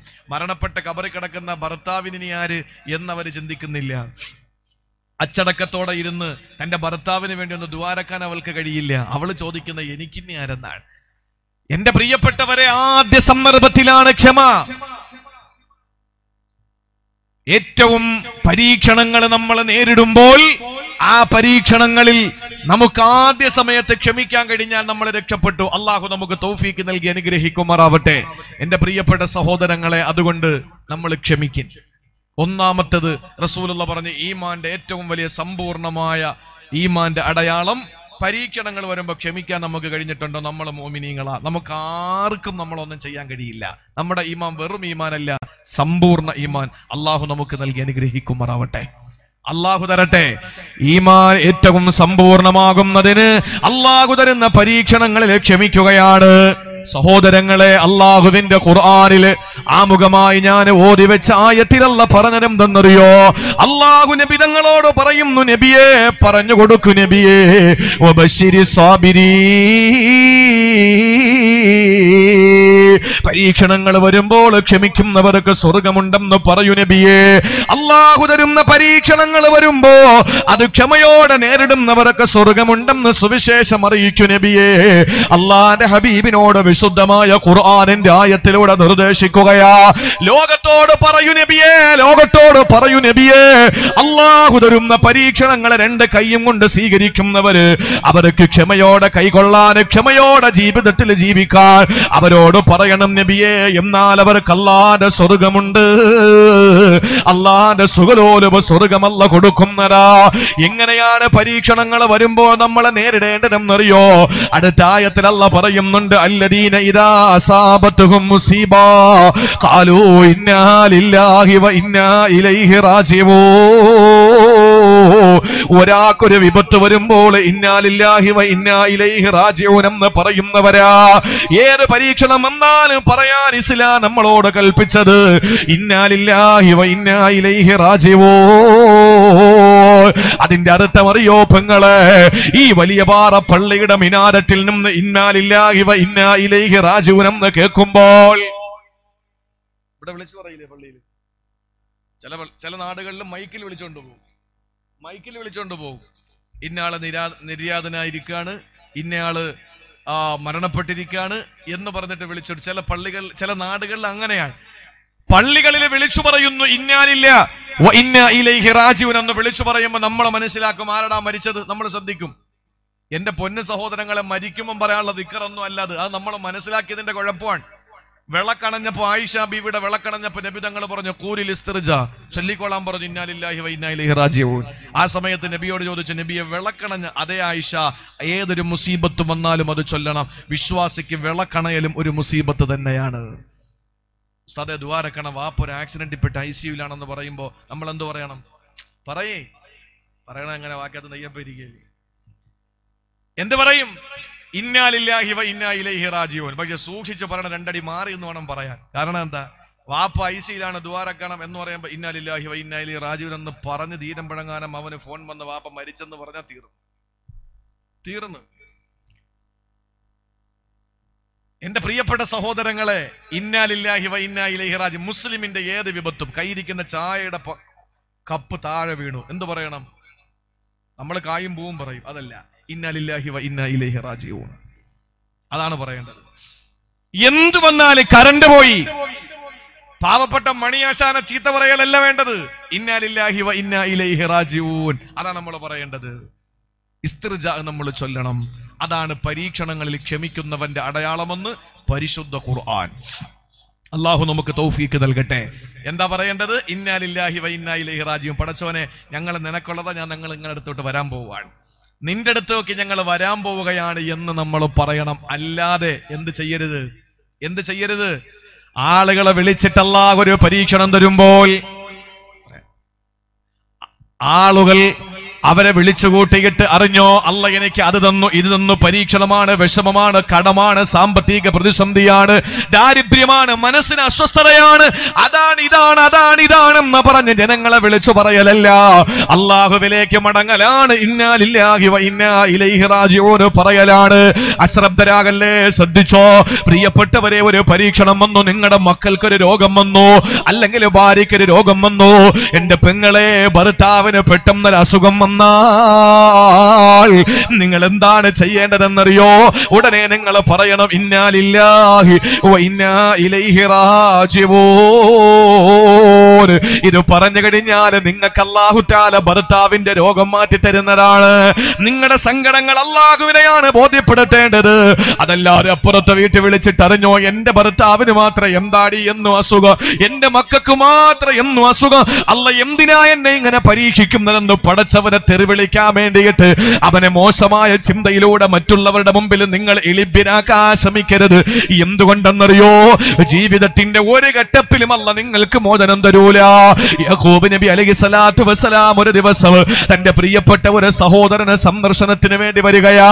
യാക്കോബ് നബിയുടെ ഇന്നത്തെ അവസ്ഥ എന്താണ്? കണ്ണിന്റെ കാഴ്ച മുഴുവനും നഷ്ടപ്പെട്ടിരിക്കുകയാണ് മുമ്പിൽ നിൽക്കുന്നവരെ പോലെ തിരിച്ചറിയാൻ കഴിയാൻ അവസ്ഥ കഴിയാത്ത അവസ്ഥയിൽ കണ്ണിന് അന്തര ബാധിച്ചു. മാത്രമല്ല മഹാനായ യാക്കോബ് നബിയുടെ മുതുക് വളഞ്ഞിരിക്കുകയാ. ആ സമയത്താണ് ഒരു സഹോദരൻ വന്നിട്ട് ചോദിച്ചല്ലയോ യാക്കോബേ എന്താ കണ്ണിന്റെ കാഴ്ച നഷ്ടപ്പെട്ടതിന്റെ കാരണം എന്താ ആ സമയത്ത് യാക്കോബ് നബി പറഞ്ഞത് മറുപടി എന്തെന്നറിയോ എന്റെ പൊന്നുമോനെ യൂസഫിനെ നഷ്ടപ്പെട്ടത് മുതൽ കരഞ്ഞ് കരഞ്ഞ് കരഞ്ഞ് എന്റെ കണ്ണിന്റെ കൃഷ്ണമണി വെളുത്തുപോയി സഹോദരാ. എന്താ യൂസഫിനെ നഷ്ടപ്പെട്ടത് മുതൽ ഞാൻ കരഞ്ഞിട്ട് എന്റെ കാഴ്ച ശക്തി പോയതാ. എന്റെ മുതുക വളഞ്ഞത് എങ്ങനെയെന്നറിയോ? എന്റെ ബിനിയാമീന് നഷ്ടപ്പെട്ടു പോകുമ്പോൾ പുറത്തു പോലും ഇറങ്ങാതെ ഞാൻ ഒരേ ഇരിപ്പിരുന്നിട്ട് എന്റെ മുതുക് വളഞ്ഞു പോയതാ. ആ സമയത്താണ് മഹാനായ യാക്കോബ് നബിയുടെ റൂഹുല്ലമീനെ നസലല്ലമീന് മലക്ക് ജിബിരിൽ അലൈഹിസ്സലാത്തു വസ്സലാ കടന്നു വന്നിട്ട് പറയുന്നു നബിയേ യാക്കോബ് നബിയേ ഇന്നല്ലാഹ ഇന്നല്ലാഹ അല്ല സലാം. പറയുകയാ അല്ല സലാം പറയുകയാ. യാക്കോബ് നബി സലാം അടക്കുമ്പോൾ ജിബിരിയിലും മറ്റൊന്നുകൂടി പറഞ്ഞു യഹൂബ് നബിയെ അള്ളാഹു നിങ്ങളോട് ചോദിക്കാൻ പറഞ്ഞു അമാ നാണമില്ലേ നല്ല ചോദിക്കുകയാ? നിങ്ങൾക്ക് ലജ്ജയില്ലേ എന്ന് ചോദിക്കുകയാ? നിങ്ങൾക്ക് ഉളുപ്പില്ലേ എന്നല്ലാഹു ചോദിക്കുകയാ? യോക്കൂബ് നബി അത്ഭുതപ്പെട്ടുകൊണ്ട് ചോദിച്ചോ ജിബിരിയിലേ ഞാൻ എന്ത് തെറ്റ് ചെയ്തിട്ടാണ് അള്ളാഹു എന്നോട് അങ്ങനെ ചോദിക്കുന്നത്? ഞാൻ എന്ത് തെറ്റ് ചെയ്തിട്ടാണ്? ആ സമയത്താണ് യാക്കോബ് നബിയോട് ജിബിരിയിൽ പറഞ്ഞു നിങ്ങളുടെ കാഴ്ചശക്തി നഷ്ടപ്പെട്ടത് നിങ്ങളുടെ മുതുകു വളഞ്ഞത്. അള്ളാഹു തന്ന പരീക്ഷണങ്ങളുടെ പേരിലാണെന്ന് സഹോദരനോട് വിളമ്പിക്കൊടുത്തത് എന്തിനാ? നിങ്ങളുടെ ദുഃഖങ്ങൾ അള്ളാരോട് പറഞ്ഞുകൂടായിരുന്നോ? നിങ്ങളുടെ വിഷമങ്ങൾ അള്ളാഹുവിനോട് ബോധ്യപ്പെടുത്തിക്കൂടായിരുന്നോ? ആ സമയത്താണ് യാക്കോബ് നബി അലഹി സ്വലാത്തു വസല പറഞ്ഞ വാക്കെന്താണ്? സൂറത്ത് യൂസഫിൽ നമുക്ക് കാണാൻ കഴിയുന്നല്ലോ. യേക്കോബ് നബി ആ സമയത്ത് പറഞ്ഞ അറിയോ? ഇന്നമാ അഷ്കോ محبتي وحزني إلى الله. إنما أشكو بثي وحزني إلى الله. പടച്ച റബ്ബേ എന്റെ ദുഃഖങ്ങളും എന്റെ പ്രയാസങ്ങളും എന്റെ വേദനകളും എന്റെ യാതനകളും എന്റെ രോദനങ്ങളും എന്റെ എല്ലാ ദുഃഖങ്ങളും നിന്റെ മേൽ ഞാൻ ഏൽപ്പിക്കുകയാണ് അല്ലാ. ആ ഒരൊറ്റ വാക്കല്ല കേട്ടപ്പോൾ യൂസുഫ് എന്ന പൊന്നുമോൻ അല്ല തിരിച്ചു കൊടുത്തില്ലേ?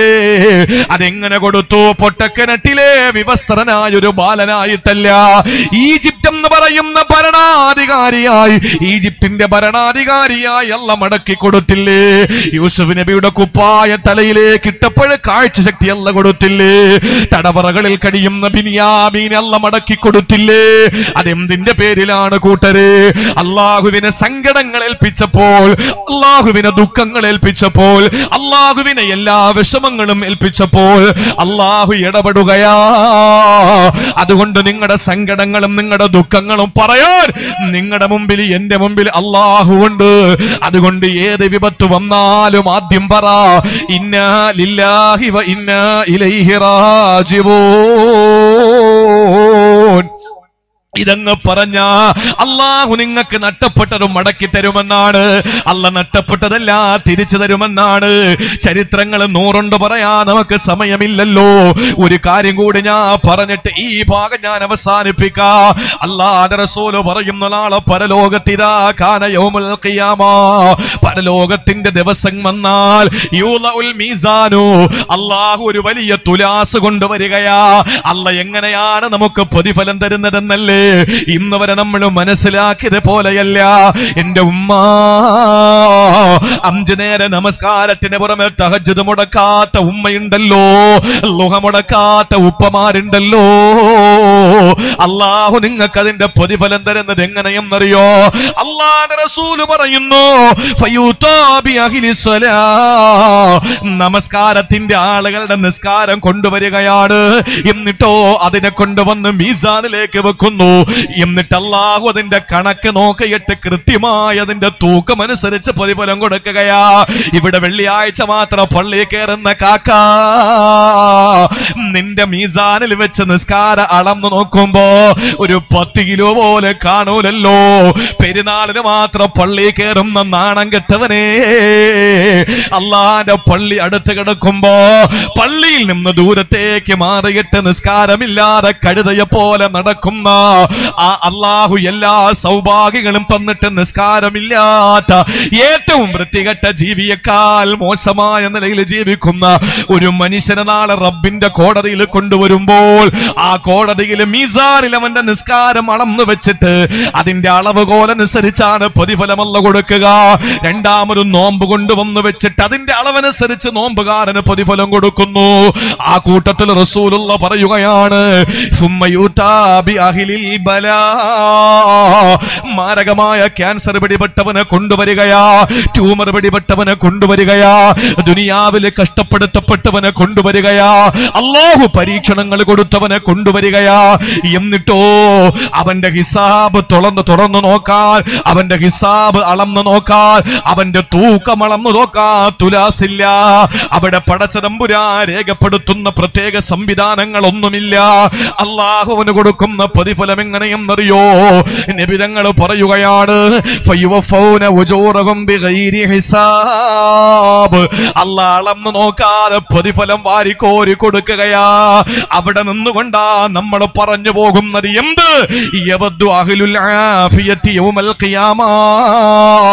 കൂട്ടരെ ശ്രദ്ധയോടെ കേട്ടോ. ഇവിടെ ഒരു നേരത്തെ ഭക്ഷണം കഴിക്കാൻ കഴിയാതെ ക്യാൻസർ രോഗം പിടിപെട്ട് തൊണ്ടയ്ക്ക് താഴെ ഒരു തുള്ളി വെള്ളമറക്കാൻ കഴിയാതെ കഷ്ടപ്പെടുന്ന വീട്ടിൽ നിന്ന് വന്നവരെ ഈ സരസിൽ വന്നെന്ന് ദുആ ചെയ്യാ. എന്റെ ഭർത്താവിന്റെ എന്റെ വാപ്പയുടെ എന്റെ മകന്റെ എന്റെ സഹോദരന്റെ എന്റെ ഭാര്യയുടെ രോഗം മാറ്റിക്കൊടുക്കണം തമ്പുരാന്. എന്ന് പറഞ്ഞ് ദുആ ചെയ്യാൻ ഈ സരസിൽ വന്നിട്ടുള്ള ആരെങ്കിലും എന്നെ കേൾക്കുന്നെങ്കിൽ അതല്ലെങ്കിൽ എസ് കെ സാറിന്റെ ഈ ലൈവിലൂടെ കേൾക്കുന്ന എന്റെ പ്രിയപ്പെട്ടവരോട് എനിക്ക് പറയാനുള്ളത് നിങ്ങളുടെ കുടുംബത്തിലെ ഏതെങ്കിലും പരീക്ഷണങ്ങൾ അനുഭവിക്കുന്നവരുണ്ടെങ്കിൽ അവരോട് പ്രത്യേകം പറഞ്ഞു കൊടുക്ക്. നാളെ പരലോകത്തല്ലാഹു അവർക്ക് കൊടുക്കുന്ന പ്രതിഫലം കാണുമ്പോൾ ക്യാൻസർ രോഗികൾക്കല്ല കൊടുക്കുന്ന പ്രതിഫലം കാണുമ്പോൾ അള്ളാഹു കൊറോണ പിടിപെട്ട് മരണപ്പെട്ടവർക്ക് കൊടുക്കുന്ന പ്രതിഫലം കാണുമ്പോൾ പ്ലേഗ് രോഗം പിടിപെട്ട് മരണപ്പെട്ടവർക്ക് കൊടുക്കുന്ന പ്രതിഫലം കാണുമ്പോൾ ഉദര സംബന്ധമായ രോഗം പിടിപെട്ട് മരിച്ചവർക്കല്ല കൊടുക്കുന്ന പ്രതിഫലം കാണുമ്പോൾ അതുപോലെ ചരച്ചരയ്ക്കപ്പെട്ടവര് ചുട്ടരിക്കപ്പെട്ടവര് ക്രൂരമായി കൊന്നെടുക്കപ്പെട്ടവര് ഇന്നും എന്റെ പ്രിയപ്പെട്ടവരെ ഡൽഹിയിൽ പാപപ്പെട്ട ഒരു പൊന്നുമോൾ തണുത്തു വറച്ച് മരിച്ചുപോയി എന്തിന്റെ പേരിലാണ്? ഈ സ്വാതന്ത്ര്യത്തിന് വേണ്ടിയിട്ട് രണ്ടാം സ്വാതന്ത്ര്യ സമരത്തിൽ പങ്കെടുത്തുകൊണ്ട് ഡൽഹിയിലെ ഷഹീംബാഗിൽ സമരത്തിലിരിക്കുന്ന ഏറ്റവും നൂറ് വർഷപ്പനിപ്പുറം ഏറ്റവും വലിയ രണ്ടാമത്തെ തണുപ്പാണിപ്പോൾ. ഈ തണുപ്പ് വയനാടത്തെ തണുപ്പ് പോലെയല്ല ഡൽഹിയിലെ തണുപ്പ്. ആ തണുപ്പത്തും പുറത്തു കിടക്കുന്ന പാവപ്പെട്ട പൊന്നുമോൾ മരണപ്പെട്ടു പോയി. എന്റെ പ്രിയപ്പെട്ടവരെ എവർക്കൊക്കെ അല്ല നാളെ കൊടുക്കുന്ന പ്രതിഫലം കാണുമ്പോൾ ദുനിയാവിൽ ഒരു രോഗവും ഇല്ലാത്ത ആളുകൾ ദുനിയാവിൽ പരീക്ഷണം എന്തെന്നറിയാത്ത ആളുകൾ ആഹ്റത്തിൽ വെച്ച് വിളിച്ചു പറഞ്ഞു പോകും. എന്താ? ലൗ അന്ന ജുലൂദഹും കാനത്ത് കുരിലത്ത് ബിൽ മകാരിലി ഫി ദുനിയാ. പടച്ചവനെ ദുനിയാവിൽ വെച്ച് എന്റെ ശരീരം പീസ് പീസാക്കപ്പെട്ടിരുന്നെങ്കിൽ എന്റെ ശരീരം വ്രണം വന്ന് നശിച്ചിരുന്നെങ്കിൽ എന്റെ കൈകാലുകൾ മുറിക്കപ്പെട്ടിരുന്നെങ്കിൽ മാരകമായ ബ്ലഡ് ക്യാൻസർ എനിക്ക് വന്നിരുന്നെങ്കിൽ എന്ന് നാളെ പരലോകത്ത് വെച്ച് കൊതിച്ചു പോകുമെന്ന് ഇന്നേ വരെ കളവ് പറയാത്ത നബി മുഹമ്മദ് മുസ്തഫ. പരലോകത്ത് അള്ളാഹു പ്രതിഫലം കൊടുക്കും. ഇവിടെ ഒരു പനി വന്നവന് ആരാ പനി വന്നവര് വരൂ എന്ന് പറഞ്ഞിട്ട് പനി വന്നവന് പ്രതിഫലം കൊടുക്കുമ്പോൾ പനി വരാത്ത ആളുകൾ അവിടെ ചെന്നിട്ട് ദ്വാരക്കം പടച്ചോനെ പനിച്ച് ഞാൻ എന്റെ ജീവിതകാലം മുഴുവനും ഒരേ കിടപ്പിലായിരുന്നെങ്കിൽ റബ്ബേ എന്ന് കൊതിച്ചു പോകും. കാരണം അത്രയും പ്രതിഫലം അവിടെ കിട്ടും. ബഷിരി സ്വാബിരീൻ ക്ഷമിക്കുന്നവർക്ക് സ്വർഗമുണ്ടെന്ന് പറയൂ നബിയെ. അള്ളാഹു നമുക്ക് പരീക്ഷണങ്ങളിൽ വിജയിക്കാനുള്ള ഭാഗ്യം അള്ളാഹു തരട്ടെ. എന്റെ പ്രിയപ്പെട്ട സഹോദരങ്ങളെ അതുകൊണ്ട് പരീക്ഷണങ്ങൾ വരുമ്പോൾ ക്ഷമിക്കാൻ നമുക്ക് കഴിഞ്ഞാൽ നമ്മുടെ ഈമാൻ സമ്പൂർണമാണ് എന്നതിന്റെ ഒന്നാമത്തെ അടയാളം. അള്ളാഹു തൗഫീക്ക് തരട്ടെ. നിങ്ങൾക്ക് മനസ്സിലാവുന്നുണ്ടോ വിഷയം? രണ്ട്. രണ്ടാമത്തേത് രണ്ടാമത്തേത് ആദരവായ പ്രവാചകനോട് സഹാബത്ത് പറയുന്നു നബിയേ വനഷ്കുറു അലൽ വനഷ്കുറു അല വനഷ്കുറു അല റഹാ ഞങ്ങൾക്ക് ഏത് നിയമത്തുകൾ വന്നാലും ഞങ്ങൾക്ക് ഏത് നിയമത്തുകൾ വന്നാലും അതെല്ലാം ഞങ്ങൾ അള്ളാഹുവിനെ നന്ദി രേഖപ്പെടുത്തുന്നവരാ ഞങ്ങൾ നന്ദി രേഖപ്പെടുത്തുന്നവരാണ്. ആ മഹാനായ പ്രവാചകന്റെ സഹാബത്തിന്റെ വിശേഷണം. ഇത് കേട്ടപ്പോ നബിതങ്ങൾ പറഞ്ഞു നിങ്ങളുടെ ഈമാൻ ഉറപ്പുള്ള ഈമാനാണ്. നിങ്ങൾ യഥാർത്ഥ മോമിനീങ്ങളാണ്. രണ്ടാമത് പറഞ്ഞതാണ് ഇബ്രാഹിം അദ്ദേഹം റഹമത്തുല്ലാഹിലയുടെ രണ്ടാമത്തെ വാഹനം. മറക്കരുത്. സഹോദരങ്ങളെ എന്താണ് പരി അള്ളാഹു തരുന്ന നിയമത്തുകൾക്ക് നന്ദി രേഖപ്പെടുത്തുക. ഇത് പറയുമ്പോ കാസർഗോഡ് ജില്ലയിലെ വാടക വീട്ടിൽ കഴിയുന്ന ഏതെങ്കിലും തേയിലത്തോട്ടത്തിൽ പണിയുള്ള ഒരു ഉമ്മ അല്ലെങ്കിൽ ഒരു ഉപ്പ ചിന്തിക്കും ഞാൻ എന്തെടുപ്പാനാ നന്ദി കാണിക്കുന്നത്? ഞാൻ അംബാനി അദാനി വല്ലതും ആണോ? എനിക്ക് എന്തിരിക്കും നന്ദി കാണിക്കാൻ? ഒന്നും വേണ്ട. നിങ്ങൾ ചെന്ന് കുനിഞ്ഞു നിന്ന് തേയില നുള്ളുന്നില്ലേ? അതാര് തന്ന ആരോഗ്യമാണ് എന്റെ പൊന്ന് സഹോദരങ്ങളെ അള്ളാഹു തന്ന ഏറ്റവും വലിയ നിയമത്ത് ഏതാണെന്ന് സുഖമില്ലാതെ വീൽ ചെയറിലിരിക്കുന്ന അല്ലെങ്കിൽ സ്ട്രെച്ചറിൽ കിടക്കുന്ന അല്ലെങ്കിൽ കിടന്ന കിടപ്പിൽ മലമൂത്ര വിസർജനം ചെയ്യുന്ന അല്ലെങ്കിൽ ബാത്റൂമിൽ പോകാൻ ആരുടെയെങ്കിലും സഹായമില്ലാതെ വിഷമിക്കുന്ന ഒരാളോട് ചോദിച്ചു നോക്കണം. ഏറ്റവും വലിയ നിയമത്ത് ഏതാണെന്ന്? അവൻ ചിലപ്പോൾ കോടീശ്വരനായിരിക്കും അല്ലെങ്കിൽ രാജ്യം ഭരിച്ച വലിയ വീരശൂര പരാക്രമിയായിരിക്കും ഒക്കെ ആയിരിക്കും. ചോദിക്കണം ഏറ്റവും വലിയ നിയമത്ത് ഏതാണ്? അയാൾ പറയും ആരും വിളിക്കാതെ ഒന്ന് മൂത്രമൊഴിക്കാൻ പോകാൻ പറ്റുമെങ്കിൽ അതാണ് ലോകത്തെ ഏറ്റവും വലിയ സൗഭാഗ്യം. അത് ആരോഗ്യം നശിച്ചവനോട് ചോദിച്ചു നോക്കണം. ഇപ്പൊ നമുക്ക് ഒന്നും അറിയണ്ടല്ല. ഓടുക ചിരിക്കുക മൂത്രമൊഴിക്കുക എണീച്ച് ഓടുക. ഇപ്പോഴ ഒരു വിഷമവും ഇല്ലല്ലോ. ഒരു വിഷമവും നമുക്കില്ല. പക്ഷേ ആരോഗ്യം നശിച്ചു പോയവനോട് ചോദിക്കണം നിങ്ങളുടെ അവസ്ഥ എന്താണ് എന്ന്. എന്റെ പ്രിയപ്പെട്ട സഹോദരങ്ങളെ അതുകൊണ്ട് അള്ളാഹു തരുന്ന നിയമത്തുകൾക്ക് നന്ദി വേണം. നന്ദി വേണം. ഭക്ഷണത്തിന് ആർക്കെങ്കിലും ബുദ്ധിമുട്ടുണ്ടോ ഇപ്പോ? ഭക്ഷണത്തിന് ആർക്കെങ്കിലും ബുദ്ധിമുട്ടുണ്ടോ? ഭക്ഷണം നമുക്ക് ബുദ്ധിമുട്ടുണ്ട ഏതെങ്കിലും ഒരു സഹോദരങ്ങൾ ഉണ്ടെങ്കിൽ അവർക്ക് എത്തിച്ചു കൊടുക്കാൻ ചാരിറ്റിയുടെ പ്രവർത്തകരുണ്ട്. അതാണ്. നാളെ ഒരു ചാരിറ്റി പ്രവർത്തനം നടത്തുന്ന ഒരു പരിപാടിയിലാണ് ഞാൻ പങ്കെടുക്കുന്നത്. എന്റെ പ്രിയപ്പെട്ട സഹോദരങ്ങളെ ഏറ്റവും നല്ല നിലയിൽ ചാരിറ്റി നടത്തിയിട്ട് പാവപ്പെട്ടവന് ഭക്ഷണം എത്തിച്ചു കൊടുക്കാൻ ആയിരക്കണക്കിന് ചാരിറ്റിയുടെ പ്രവർത്തകരുണ്ട് ഇന്നിപ്പോ. വിശപ്പ് രഹിത നാടെന്ന് പറഞ്ഞിട്ട് ചില നാടുകളിൽ ഭക്ഷണം അത് ശേഖരിച്ചിട്ട് പാവങ്ങൾക്ക് എത്തിച്ചു കൊടുക്കുന്നു. ഒരുത്തനും പട്ടിണി കിടക്കുന്നില്ല ഒരുത്തനും പട്ടിണി കിടക്കുന്നില്ല. അള്ളാഹു തന്ന ഏറ്റവും വലിയ സൗഭാഗ്യമാണ്. അല്ലേ? മഹാനായ അദ്ദേഹം റഹമത്തുല്ലാഹി അലൈഹി മഹാനായ ഷക്കീഖുൽ രണ്ടുപേരും കൂടി പരിശുദ്ധമായ ഹറമിലെത്തുകയാണ് ഉംറ നിർവഹിക്കാൻ. ആ സമയത്താണ് പ്രിയപ്പെട്ട സഹോദരങ്ങളെ ജനങ്ങളെ അവരെ രണ്ടുപേരെയും കണ്ടപ്പോ ഓടിക്കൂടുകയാ. എന്നിട്ട് പറഞ്ഞു മഹാന്മാരായ രണ്ട് നേതാക്കന്മാരെ കണ്ടപ്പോൾ ദീനിന്റെ രണ്ട് പ്രബോധകന്മാരെ കണ്ടപ്പോഴേക്കും ആളുകൾ വന്നു കൂടി എന്നിട്ട് പറഞ്ഞു എന്തെങ്കിലും നിങ്ങളൊന്ന് പ്രസംഗിക്കുമോ? എന്തെങ്കിലും നിങ്ങളൊന്ന് പ്രസംഗിക്കുമോ? ഞങ്ങൾക്ക് കേൾക്കാനാ. ആ സമയത്തെന്റെ പ്രിയപ്പെട്ടവരെ തങ്ങളോട് മഹാനായ ഇബ്രാഹിം ബിൻ അദ്ഹം റഹിമത്തുള്ളാഹി അലൈഹി ചോദിക്കുകയാണ് നിങ്ങളുടെ അടിത്തറ ഏത് വിഷയത്തിലാണ്? നിങ്ങൾ ഏത് വിഷയത്തിലാണ് അടിത്തറ പാകയിട്ടുള്ളത് എന്ന് പറഞ്ഞാൽ നിങ്ങളുടെ അടിത്തറ ഏതാണ്? ആ സമയത്താണ് ഷക്കീഖുൽ ബൽഖിയും അവിടെ കൂടിയ ആളുകളും പറഞ്ഞു ഇതാ റുസുക്കിനാ അക്കൽന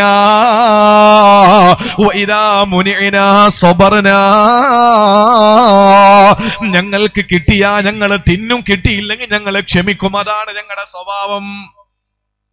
നിങ്ങളോട് ചോദിക്കുകയാണ് നിങ്ങളുടെ സ്വഭാവം എന്താണ്? കിട്ടിയാ തിന്നും അല്ലെങ്കിൽ അലഹമില്ല കിട്ടി. എന്താ ഇപ്പൊ ക്ഷമിക്കുക അല്ലാതെ വേറെ എന്താ വഴി? ക്ഷമിക്കും അല്ലാതെ പിന്നെ എന്ത് ചെയ്യാനാ? അങ്ങനെയാണല്ലോ നമ്മൾ. കിട്ടിയാ തിന്നുമില്ലെങ്കിൽ ക്ഷമിക്കും. ഭാര്യ പിടിച്ച് തിന്നാൻ പറ്റുമോ? ഇല്ലല്ലോ. ഇന്ന് ഭക്ഷണം ഉണ്ടാക്കിയില്ല. കാരണം എന്താ? ഒന്നുമില്ല. എന്ന് പറഞ്ഞാൽ മക്കളെ കീറി തിന്നും. ആരും തിന്നൂലല്ലോ. ക്ഷമിക്കും. നമ്മൾ ക്ഷമിക്കും. എന്ത് ചെയ്യാനാ? നമ്മൾ ക്ഷമിക്കും. ഇത്രയും പറഞ്ഞപ്പോഴേക്കും ഇബ്രാഹിം നദി റഹമത്തുല്ലാഹി അലൈഹി പറഞ്ഞു ഹാക്കഥ ദാലിക്ക ബുസൂലിൽ കിലാബട തെരുവ് പട്ടിയുടെ സ്വഭാവം ഇത് തന്നെയാണ്. തെരുവ് പട്ടിയുടെ സ്വഭാവവും ഇത് തന്നെയാണ് ഏതെങ്കിലും തെരുവ് പട്ടികൾ വയനാട് ജില്ലയിലെ ഈ ഭാഗത്തുള്ള ഏതെങ്കിലും തെരുവ് പട്ടികൾ വന്നിട്ട് ഈ വലിയ പാറ മൻഫുൽ ഉലു മദ്രസയുടെ ഇസ്ലാം മദ്രസയുടെ കമ്മിറ്റിക്കാരടുത്തോ അല്ലെങ്കിൽ ഈ മഹല്ല് കമ്മിറ്റിക്കാരടുത്ത് വന്നിട്ട് പറഞ്ഞോ നിങ്ങളുടെ മഹല്ലിൽപ്പെട്ട വീടുകളിൽ നിന്ന് ഞങ്ങൾക്ക് ശാപ്പാട് തരുന്നില്ല. അതുകൊണ്ട് ഒരു നടപടി എടുക്കണമെന്ന് പറഞ്ഞിട്ട് ഇന്ന് വരെ ആരെങ്കിലും മെമ്മറോണ്ടം കൊടുത്തിട്ടുണ്ടോ? ഏതെങ്കിലും പട്ടി വന്നിട്ട് പരാതി പറഞ്ഞോ പ്രസിഡന്റിനോട്? ഇല്ല. കാരണം എന്താ? അവരും അങ്ങനെ തന്നെ. എവിടെന്നെങ്കിലും വലിച്ചെറിഞ്ഞു കൊടുക്കുന്ന വേസ്റ്റ് കണ്ടാൽ തിന്നും. ഇല്ലെങ്കിൽ അവർ നാല് ഭാഗത്ത് കറങ്ങി നടക്കും കിട്ടുന്നിടത്തേക്ക് പോകും. ഇതാണ് പട്ടിയുടെ സ്വഭാവം. അപ്പൊ ചോദിച്ചു എന്താ പിന്നെ നമ്മൾ ചെയ്യേണ്ടത്? ഇബ്രാഹിം അദ്ദേഹം റഹമത്തുള്ളാഹി അലൈഹി പറഞ്ഞു നമ്മൾ ചെയ്യേണ്ടത് എന്തെന്നറിയോ? ഇതാ റുസഖിന ആസർനാ. കിട്ടിയാൽ രണ്ട് കൈയും നീട്ടി സ്വീകരിച്ച് അള്ളാഹുവേ നീയാണല്ലോ എനിക്ക് തന്നത്. രണ്ട് കൈകൾ കൊണ്ട് നീട്ടിയിട്ട് അള്ളാഹു തരുന്നതിനെ സ്വീകരിച്ചോ? വൈദാ മുനിനാ ശകരനാ അള്ളാഹു തന്നില്ലെങ്കിൽ നീ പറയണം അൽഹംദുലില്ലാ. അള്ളാഹു എനിക്ക് തന്നില്ലല്ലോ സർവസ്തുതിയും അവനാണ്. സർവസ്തുതിയും അവനാണ്. സഹോദരങ്ങളെ ലാഭം വരുമ്പോ മാത്രം അൽഹംദുലില്ല പറഞ്ഞാ പോരാ. ഇന്ന് വയനാട് ജില്ലക്കാരായ നിങ്ങൾ എത്ര അൽഹംദുലില്ല പറയണം എന്തുകൊണ്ടാണ്? അള്ളാഹുവേ മലവെള്ളം കുത്തി ഒലിച്ചപ്പോൾ ഉരുൾപൊട്ടിയിട്ട് വിസ്ഫോടനത്തിന്റെ ശബ്ദത്തോടെ ഇവിടെ മുഴുവൻ കിടുകിടാ വിറച്ചപ്പോൾ എന്നോട് പലരും പറഞ്ഞത് ഒരു ഗർഭിണിയായ പെണ്ണ് പ്രസവിച്ചു പോകുമെന്ന് അലാമത്ത് സായിൽ ഞങ്ങൾ കേട്ടിട്ടുണ്ട് ലോകാവസാനത്തിന്റെ അടയാളമായി. കുഞ്ഞുങ്ങളെ നരച്ചു പോകുമെന്ന് കേട്ടിട്ടുണ്ട്. പക്ഷെ വയനാട് ജില്ലക്കാരായ ഞങ്ങളത് അഭിമുഖീകരിച്ചവരാ. എന്ന് പറഞ്ഞ ഭീതിജനകമായ ഏറ്റവും വലിയ സംഭീതമായ പരിഭ്രമചിട്ടരായി വിഷാദ വിഷണ്ണരായി വ്യാകുല വിഹുലരായി അങ്ങോട്ടും ഇങ്ങോട്ടും ഓടിയ ഒരു സന്ദർഭമായിരുന്നല്ലോ പ്രളയം വന്നത്. അതിൽ നിന്ന് അള്ളാഹു നിങ്ങളെ രക്ഷപ്പെടുത്തിയതിന്റെ പേരിൽ എത്ര ഹന്ത് പറഞ്ഞാലാ? മതിയാവുക. സഹോദരിമാരെ ശ്രദ്ധയോടെ കേട്ടോ. ഭർത്താവിനോട് ചോദിക്കുന്നു എങ്ങനെയുണ്ട് കച്ചവടം? ഭർത്താവ് പറഞ്ഞു അലഹമില്ല നല്ല ലാഭമുണ്ടായിരുന്നു എന്ന്.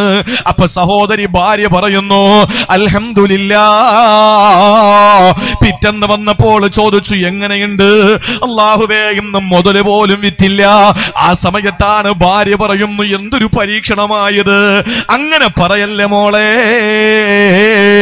നിങ്ങൾ അലഹമില്ല പറയേണ്ടത് എപ്പോഴാണ്? കിട്ടിയെന്നറിയുമ്പോൾ അൽഹംദുലില്ല. കിട്ടിയില്ലെന്നറിയുമ്പോഴും അൽഹംദുലില്ല.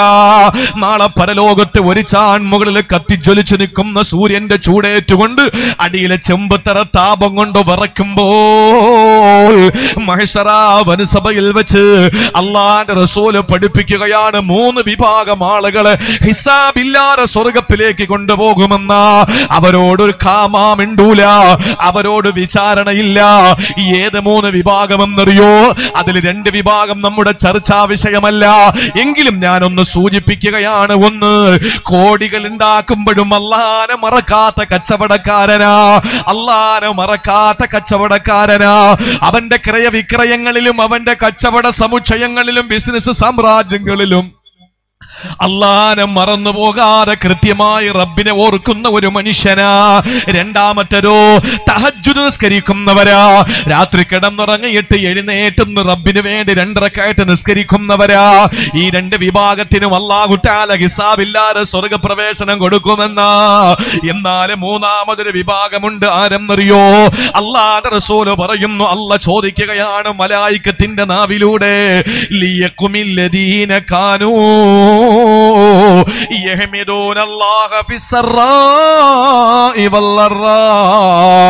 സന്തോഷത്തിലും സന്താപത്തിലും ലാഭത്തിലും നഷ്ടത്തിലും ക്ഷാമത്തിലും ക്ഷേമത്തിലും വാട്ടത്തിലും ചാട്ടത്തിലും ഉയരത്തിലും ഇറക്കത്തിലും എല്ലാത്തിലും അള്ളാനെ ഹന്ത് പറഞ്ഞവരാരാ.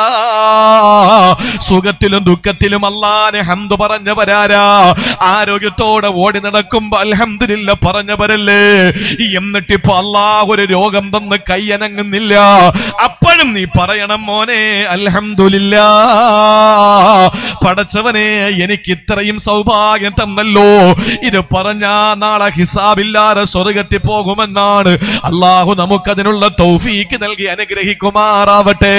അതുകൊണ്ട് പ്രിയപ്പെട്ടവരെ റബ്ബ് തന്ന നേമത്ത് പണം മാത്രമല്ല അല്ല തന്ന നേമത്ത് അധികാരം മാത്രമല്ല അല്ല തന്ന നേമത്ത് എന്ന് പറയുന്നത് പവറും പ്രശസ്തിയും പത്രാസും മാത്രമല്ല.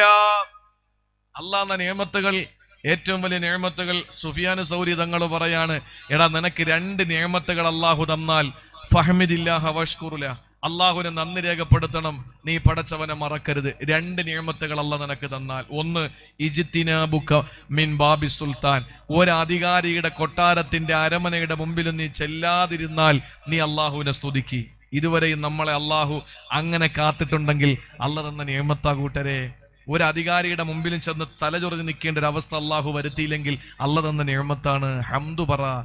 രണ്ടാമത്തെ രജത്തിനാബുക്ക മിംബാബി ത്വബീബ് ഡോക്ടർമാരുടെ മുമ്പിൽ ചെന്ന് നിൽക്കേണ്ട ഒരു അവസ്ഥ അല്ല വരുത്തിയിട്ടില്ലെങ്കിൽ അള്ളാഹുവിന് ഹംദു പറ. അള്ളാഹുവിന് ഹംദു പറ. നമ്മൾ പറയുന്നത് എന്താ? ഓ അപ്പുറത്തുള്ളവന്. നമുക്കതാണ് അപ്പുറത്ത് നിൽക്കുന്നവന് കിട്ടിയത് നമുക്ക് കിട്ടണം. നമുക്ക് കിട്ടിയതിലേക്ക് നോട്ടയില്ല അപ്പോഴും അപ്പുറത്ത് നിൽക്കുന്നവന് കിട്ടിയതാണ് നമുക്ക് നോട്ടം. അല്ലേ?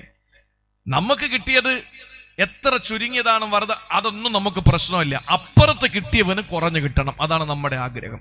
തൊട്ടടുത്ത് നിൽക്കുന്നവന് എന്നെക്കാൾ കൂടുതൽ കിട്ടണമെന്ന് ആരെങ്കിലും ആഗ്രഹിക്കോ? ആഗ്രഹിക്കോ? നമ്മളെക്കാൾ കൂടുതൽ അപ്പുറത്തെ വീട്ടുകാരനെ കിട്ടണമെന്ന് എന്തെങ്കിലും കാര്യത്തിൽ നമ്മൾ ആഗ്രഹിക്കോ? ആഗ്രഹിക്കോ? ഒറ്റ കാര്യത്തിൽ മാത്രം ആഗ്രഹിക്കും. കറണ്ടിന്റെ ബില്ല് വരുമ്പോൾ അത് നമ്മളെക്കാളും കൂടുതൽ അപ്പുറത്ത് വന്നാലും കുഴപ്പമില്ല. എന്റെ പ്രിയപ്പെട്ട സഹോദരങ്ങളെ നമുക്ക് അള്ളാഹു തന്ന നിയമത്തുകൾക്ക് ഹംദു പറയാൻ നമുക്ക് കഴിയണം. ഒന്നും അല്ലെങ്കിൽ ഇങ്ങനെ ചലിപ്പിക്കാനുള്ള ഭാഗ്യം അല്ല തന്നില്ലേ? എത്ര എത്ര ആളുകളാണ് എഴുന്നേക്കാൻ കഴിയാതെ എഴുന്നേക്കാൻ കഴിയാതെ. ഞങ്ങളുടെ ഉൽപ്പന്നങ്ങളല്ലാത്ത ഒരു ഉൽപ്പന്നങ്ങളും നിങ്ങൾ വാങ്ങണ്ട. ഞങ്ങളാണ് ലോകത്തെ ഏറ്റവും വലിയ ഉൽപ്പന്നങ്ങൾ ഉണ്ടാക്കുന്നവർ. ഞങ്ങളാണ് ലോകത്തെ ഏറ്റവും വലിയ നിർമ്മിതികൾ. ലോകത്തെ ഏറ്റവും വലിയ നിർമ്മാണം നടത്തുന്നവർ ഞങ്ങളാണ്. എന്ന് പറഞ്ഞു വീമ്പിളക്കിയ ആളുകളല്ലേ? എന്റെ പ്രിയപ്പെട്ടവരെ ഇന്ന് എഴുന്നേറ്റ് നിൽക്കാൻ പോലും കഴിയാതെ ചൈനയുടെ തെരുവോരങ്ങളിൽ ചൈനയുടെ തെരുവീതികളിൽ കൊറോണ വൈറസ് ഏതോ ഒരു മത്സ്യ മാർക്കറ്റിൽ നിന്ന് പടർന്നു പിടിച്ചു എന്ന് പറയപ്പെടുന്നത്. ഇന്നും കേരളത്തിന്റെ കേരളത്തിന്റെ ആരോഗ്യമന്ത്രി ഒരു പത്രസമ്മേളനത്തിൽ പറഞ്ഞു വീണ്ടും ഒരു രോഗിയെ കൂടി കേരളത്തിൽ സ്ഥിരീകരിച്ചിരിക്കുകയാണ്. അള്ളാഹു നമ്മ റബ്ബുലിസത്ത് നമ്മളെ കാത്തുരക്ഷിക്കട്ടെ. അള്ളാഹു നമ്മളെ കാത്തുരക്ഷിക്കട്ടെ.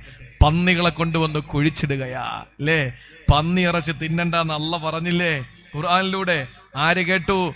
ഇന്ന് പന്നികളെ കൊണ്ടുവന്നിട്ട് കുഴിച്ചിടുകയാണ്.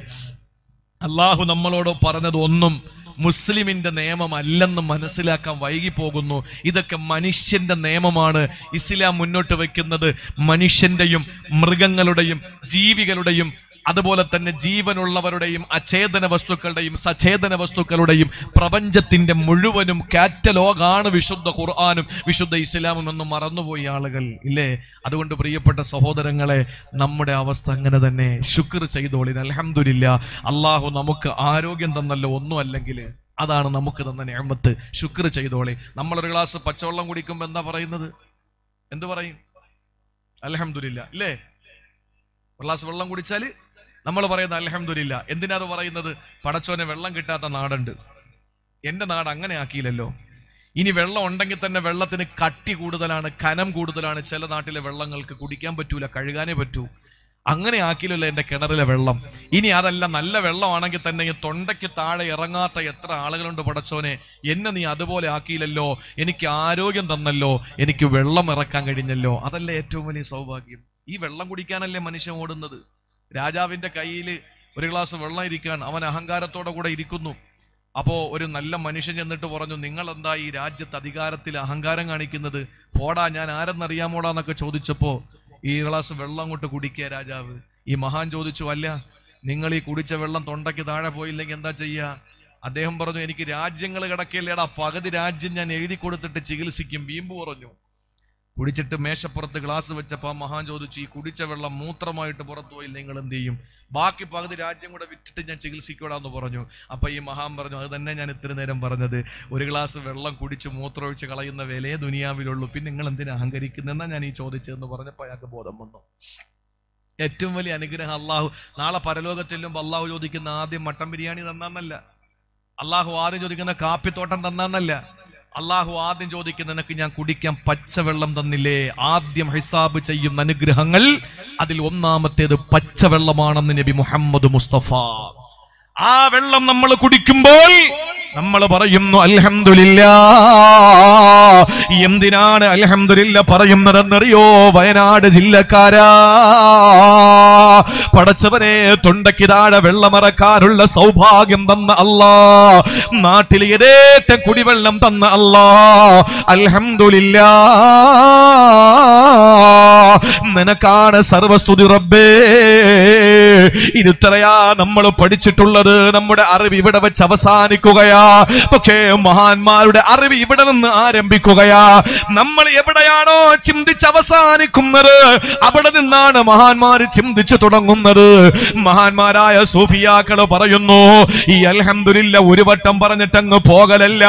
ഈ അൽഹംദുലില്ല പറഞ്ഞു കഴിഞ്ഞാൽ വീണ്ടും ഒരു അൽഹംദുലില്ല പറയണം. എന്തിനാണെന്നറിയോ? അള്ളാഹുവേ ഒരു ഗ്ലാസ് പച്ചവെള്ളം കുടിച്ചിട്ട് നിന്നെ മറക്കാതെ അൽഹംദുലില്ല പറയാനുള്ള ഭാഗ്യം തന്ന അല്ലാ. ആ അൽഹംദുലില്ല മറക്കാതെ നിനക്ക് പറയാനുള്ള തൗഫീക്ക് തന്നതിന് രണ്ടാമത് അൽഹംദുലില്ല. ഈ രണ്ടാമത് പറഞ്ഞതിന് മൂന്നാമത് പറയണമെന്നാണ്. അതെന്തിനെന്നറിയോ? പടച്ചവനെ ഒരു ഗ്ലാസ് വെള്ളം തന്നപ്പോൾ അത് കുടിച്ചിട്ട് നിന്നെ മറക്കാതെ അൽഹംദുലില്ല പറയാൻ സാധിച്ചല്ലോ എന്ന് അനുസ്മരിച്ചുകൊണ്ട് രണ്ടാമത് അൽഹംദുലില്ല പറയാൻ എനിക്ക് കഴിഞ്ഞല്ലോ. അതുകൊണ്ട് മൂന്നാമത് അൽഹംദുലില്ല. ഈ മൂന്നാമത്തതിന് നാലാമത് അൽഹംദുലില്ല. ചുരുക്കി പറഞ്ഞാൽ ഒരു ഗ്ലാസ് പച്ചവെള്ളം കുടിച്ചാ എന്റെ പെങ്ങളെ ഒരു കോടി അൽഹംദുലില്ല പറഞ്ഞാലും ബാക്കി കടമാണ്. എത്ര നമ്മൾ ശുക്ർ ചെയ്താലും ബാക്കി കടമാണ്. ദാവൂദ് നബി അള്ളാഹുവിനോട് ചോദിച്ചു റബ്ബേ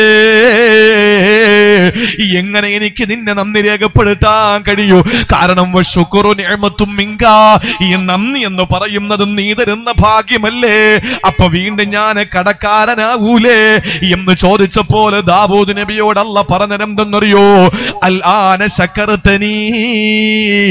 ആ മഹാനായ ദാവൂദ് നബിയോടല്ല പറയുകയാണ്. അൽ ആന ഇപ്പൊ നിങ്ങൾ എനിക്ക് നന്ദി രേഖപ്പെടുത്തി നബിയേ. ആ സമയത്ത് ദാവൂദ് നബി ചോദിച്ചു എങ്ങനെ നന്ദി രേഖപ്പെടുത്തിയെന്ന് അള്ളാഹു പറയുന്നു അലിം മിന്നി.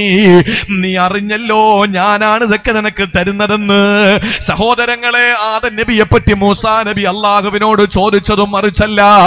മൂസാ നബി അള്ളാഹുവിനോട് ചോദിക്കുകയാണ് അള്ളാഹുവേ ആദൻ നബിക്ക് എങ്ങനെയാണ് ശക്കുര ചെയ്യാൻ കഴിയുക? ആദൻ നബിക്ക് എങ്ങനെയാണ് നന്ദി രേഖപ്പെടുത്താൻ കഴിയുക? എന്തുകൊണ്ടാണ്? അള്ളാഹുവേ വേറെ ഒരു പ്രവാചകനും ചെയ്തു കൊടുക്കാത്ത വലിയ വലിയ നിയമത്തല്ലേ നീ ചെയ്തു കൊടുത്തത്? ഒന്നാമത്തെ തലം നിന്റെ കൈ കൊണ്ട് നീ സിട്ടിച്ചില്ലേ ആദൻ നബിയെ? പച്ചവെള്ളവും പച്ചമണ്ണും കൂട്ടിക്കലത്തിയിട്ട് കൊട്ടിയാൽ ശബ്ദം കേൾക്കുന്ന രൂപത്തിൽ നീ ഉണ്ടാക്കിയതല്ലേ ആദൻ നബിയെ? എന്നിട്ട് നിന്റെ റൂഹിൽ നിന്ന് നീ ഊരിക്കൊടുത്തതല്ലേ പടച്ചവരെ?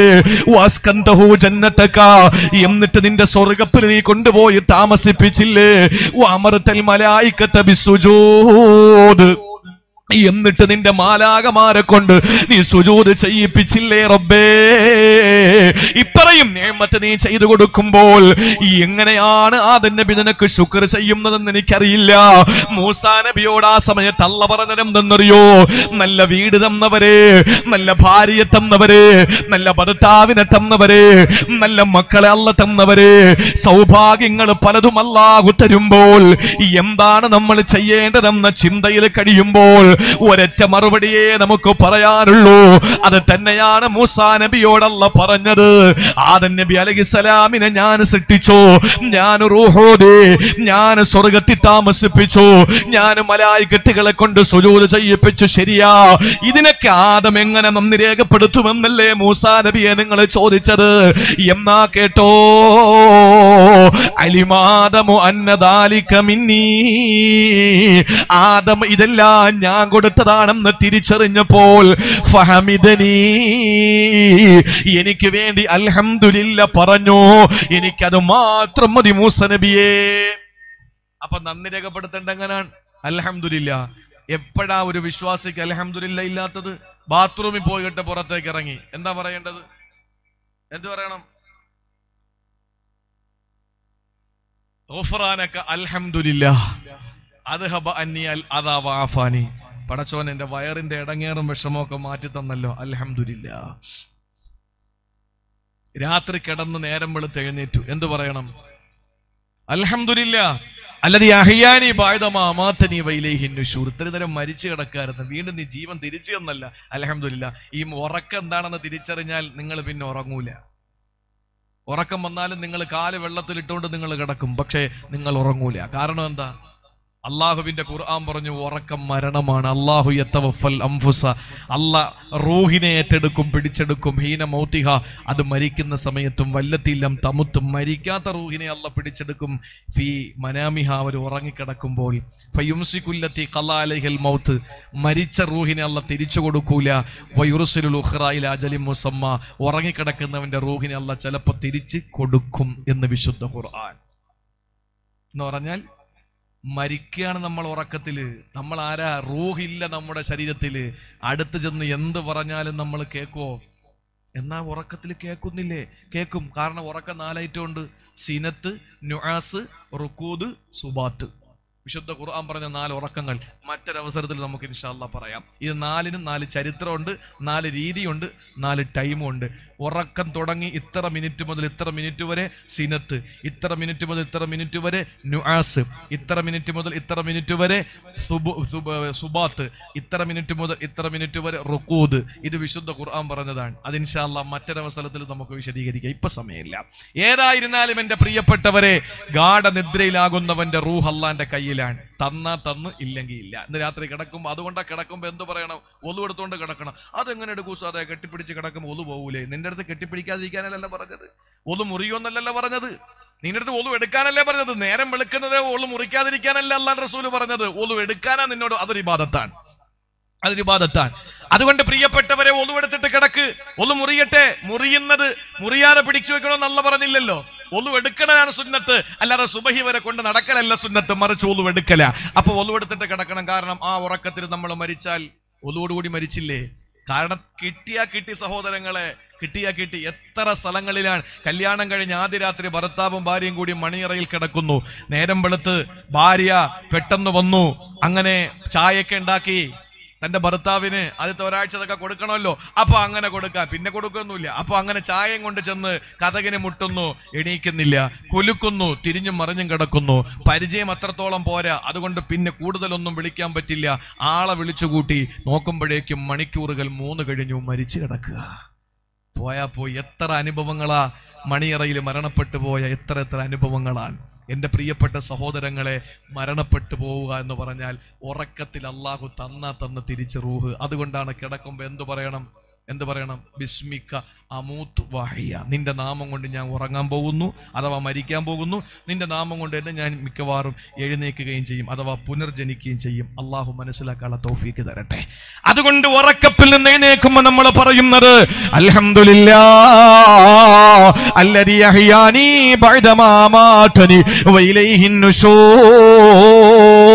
നുശൂർ യാത്ര പോയി മടങ്ങി വന്നാലും പറയേണ്ടത് എന്താണ് റസൂലുള്ള പറഞ്ഞല്ലോ യാത്രക്കാരന് മടങ്ങി വരുമ്പോൾ പറയേണ്ടത്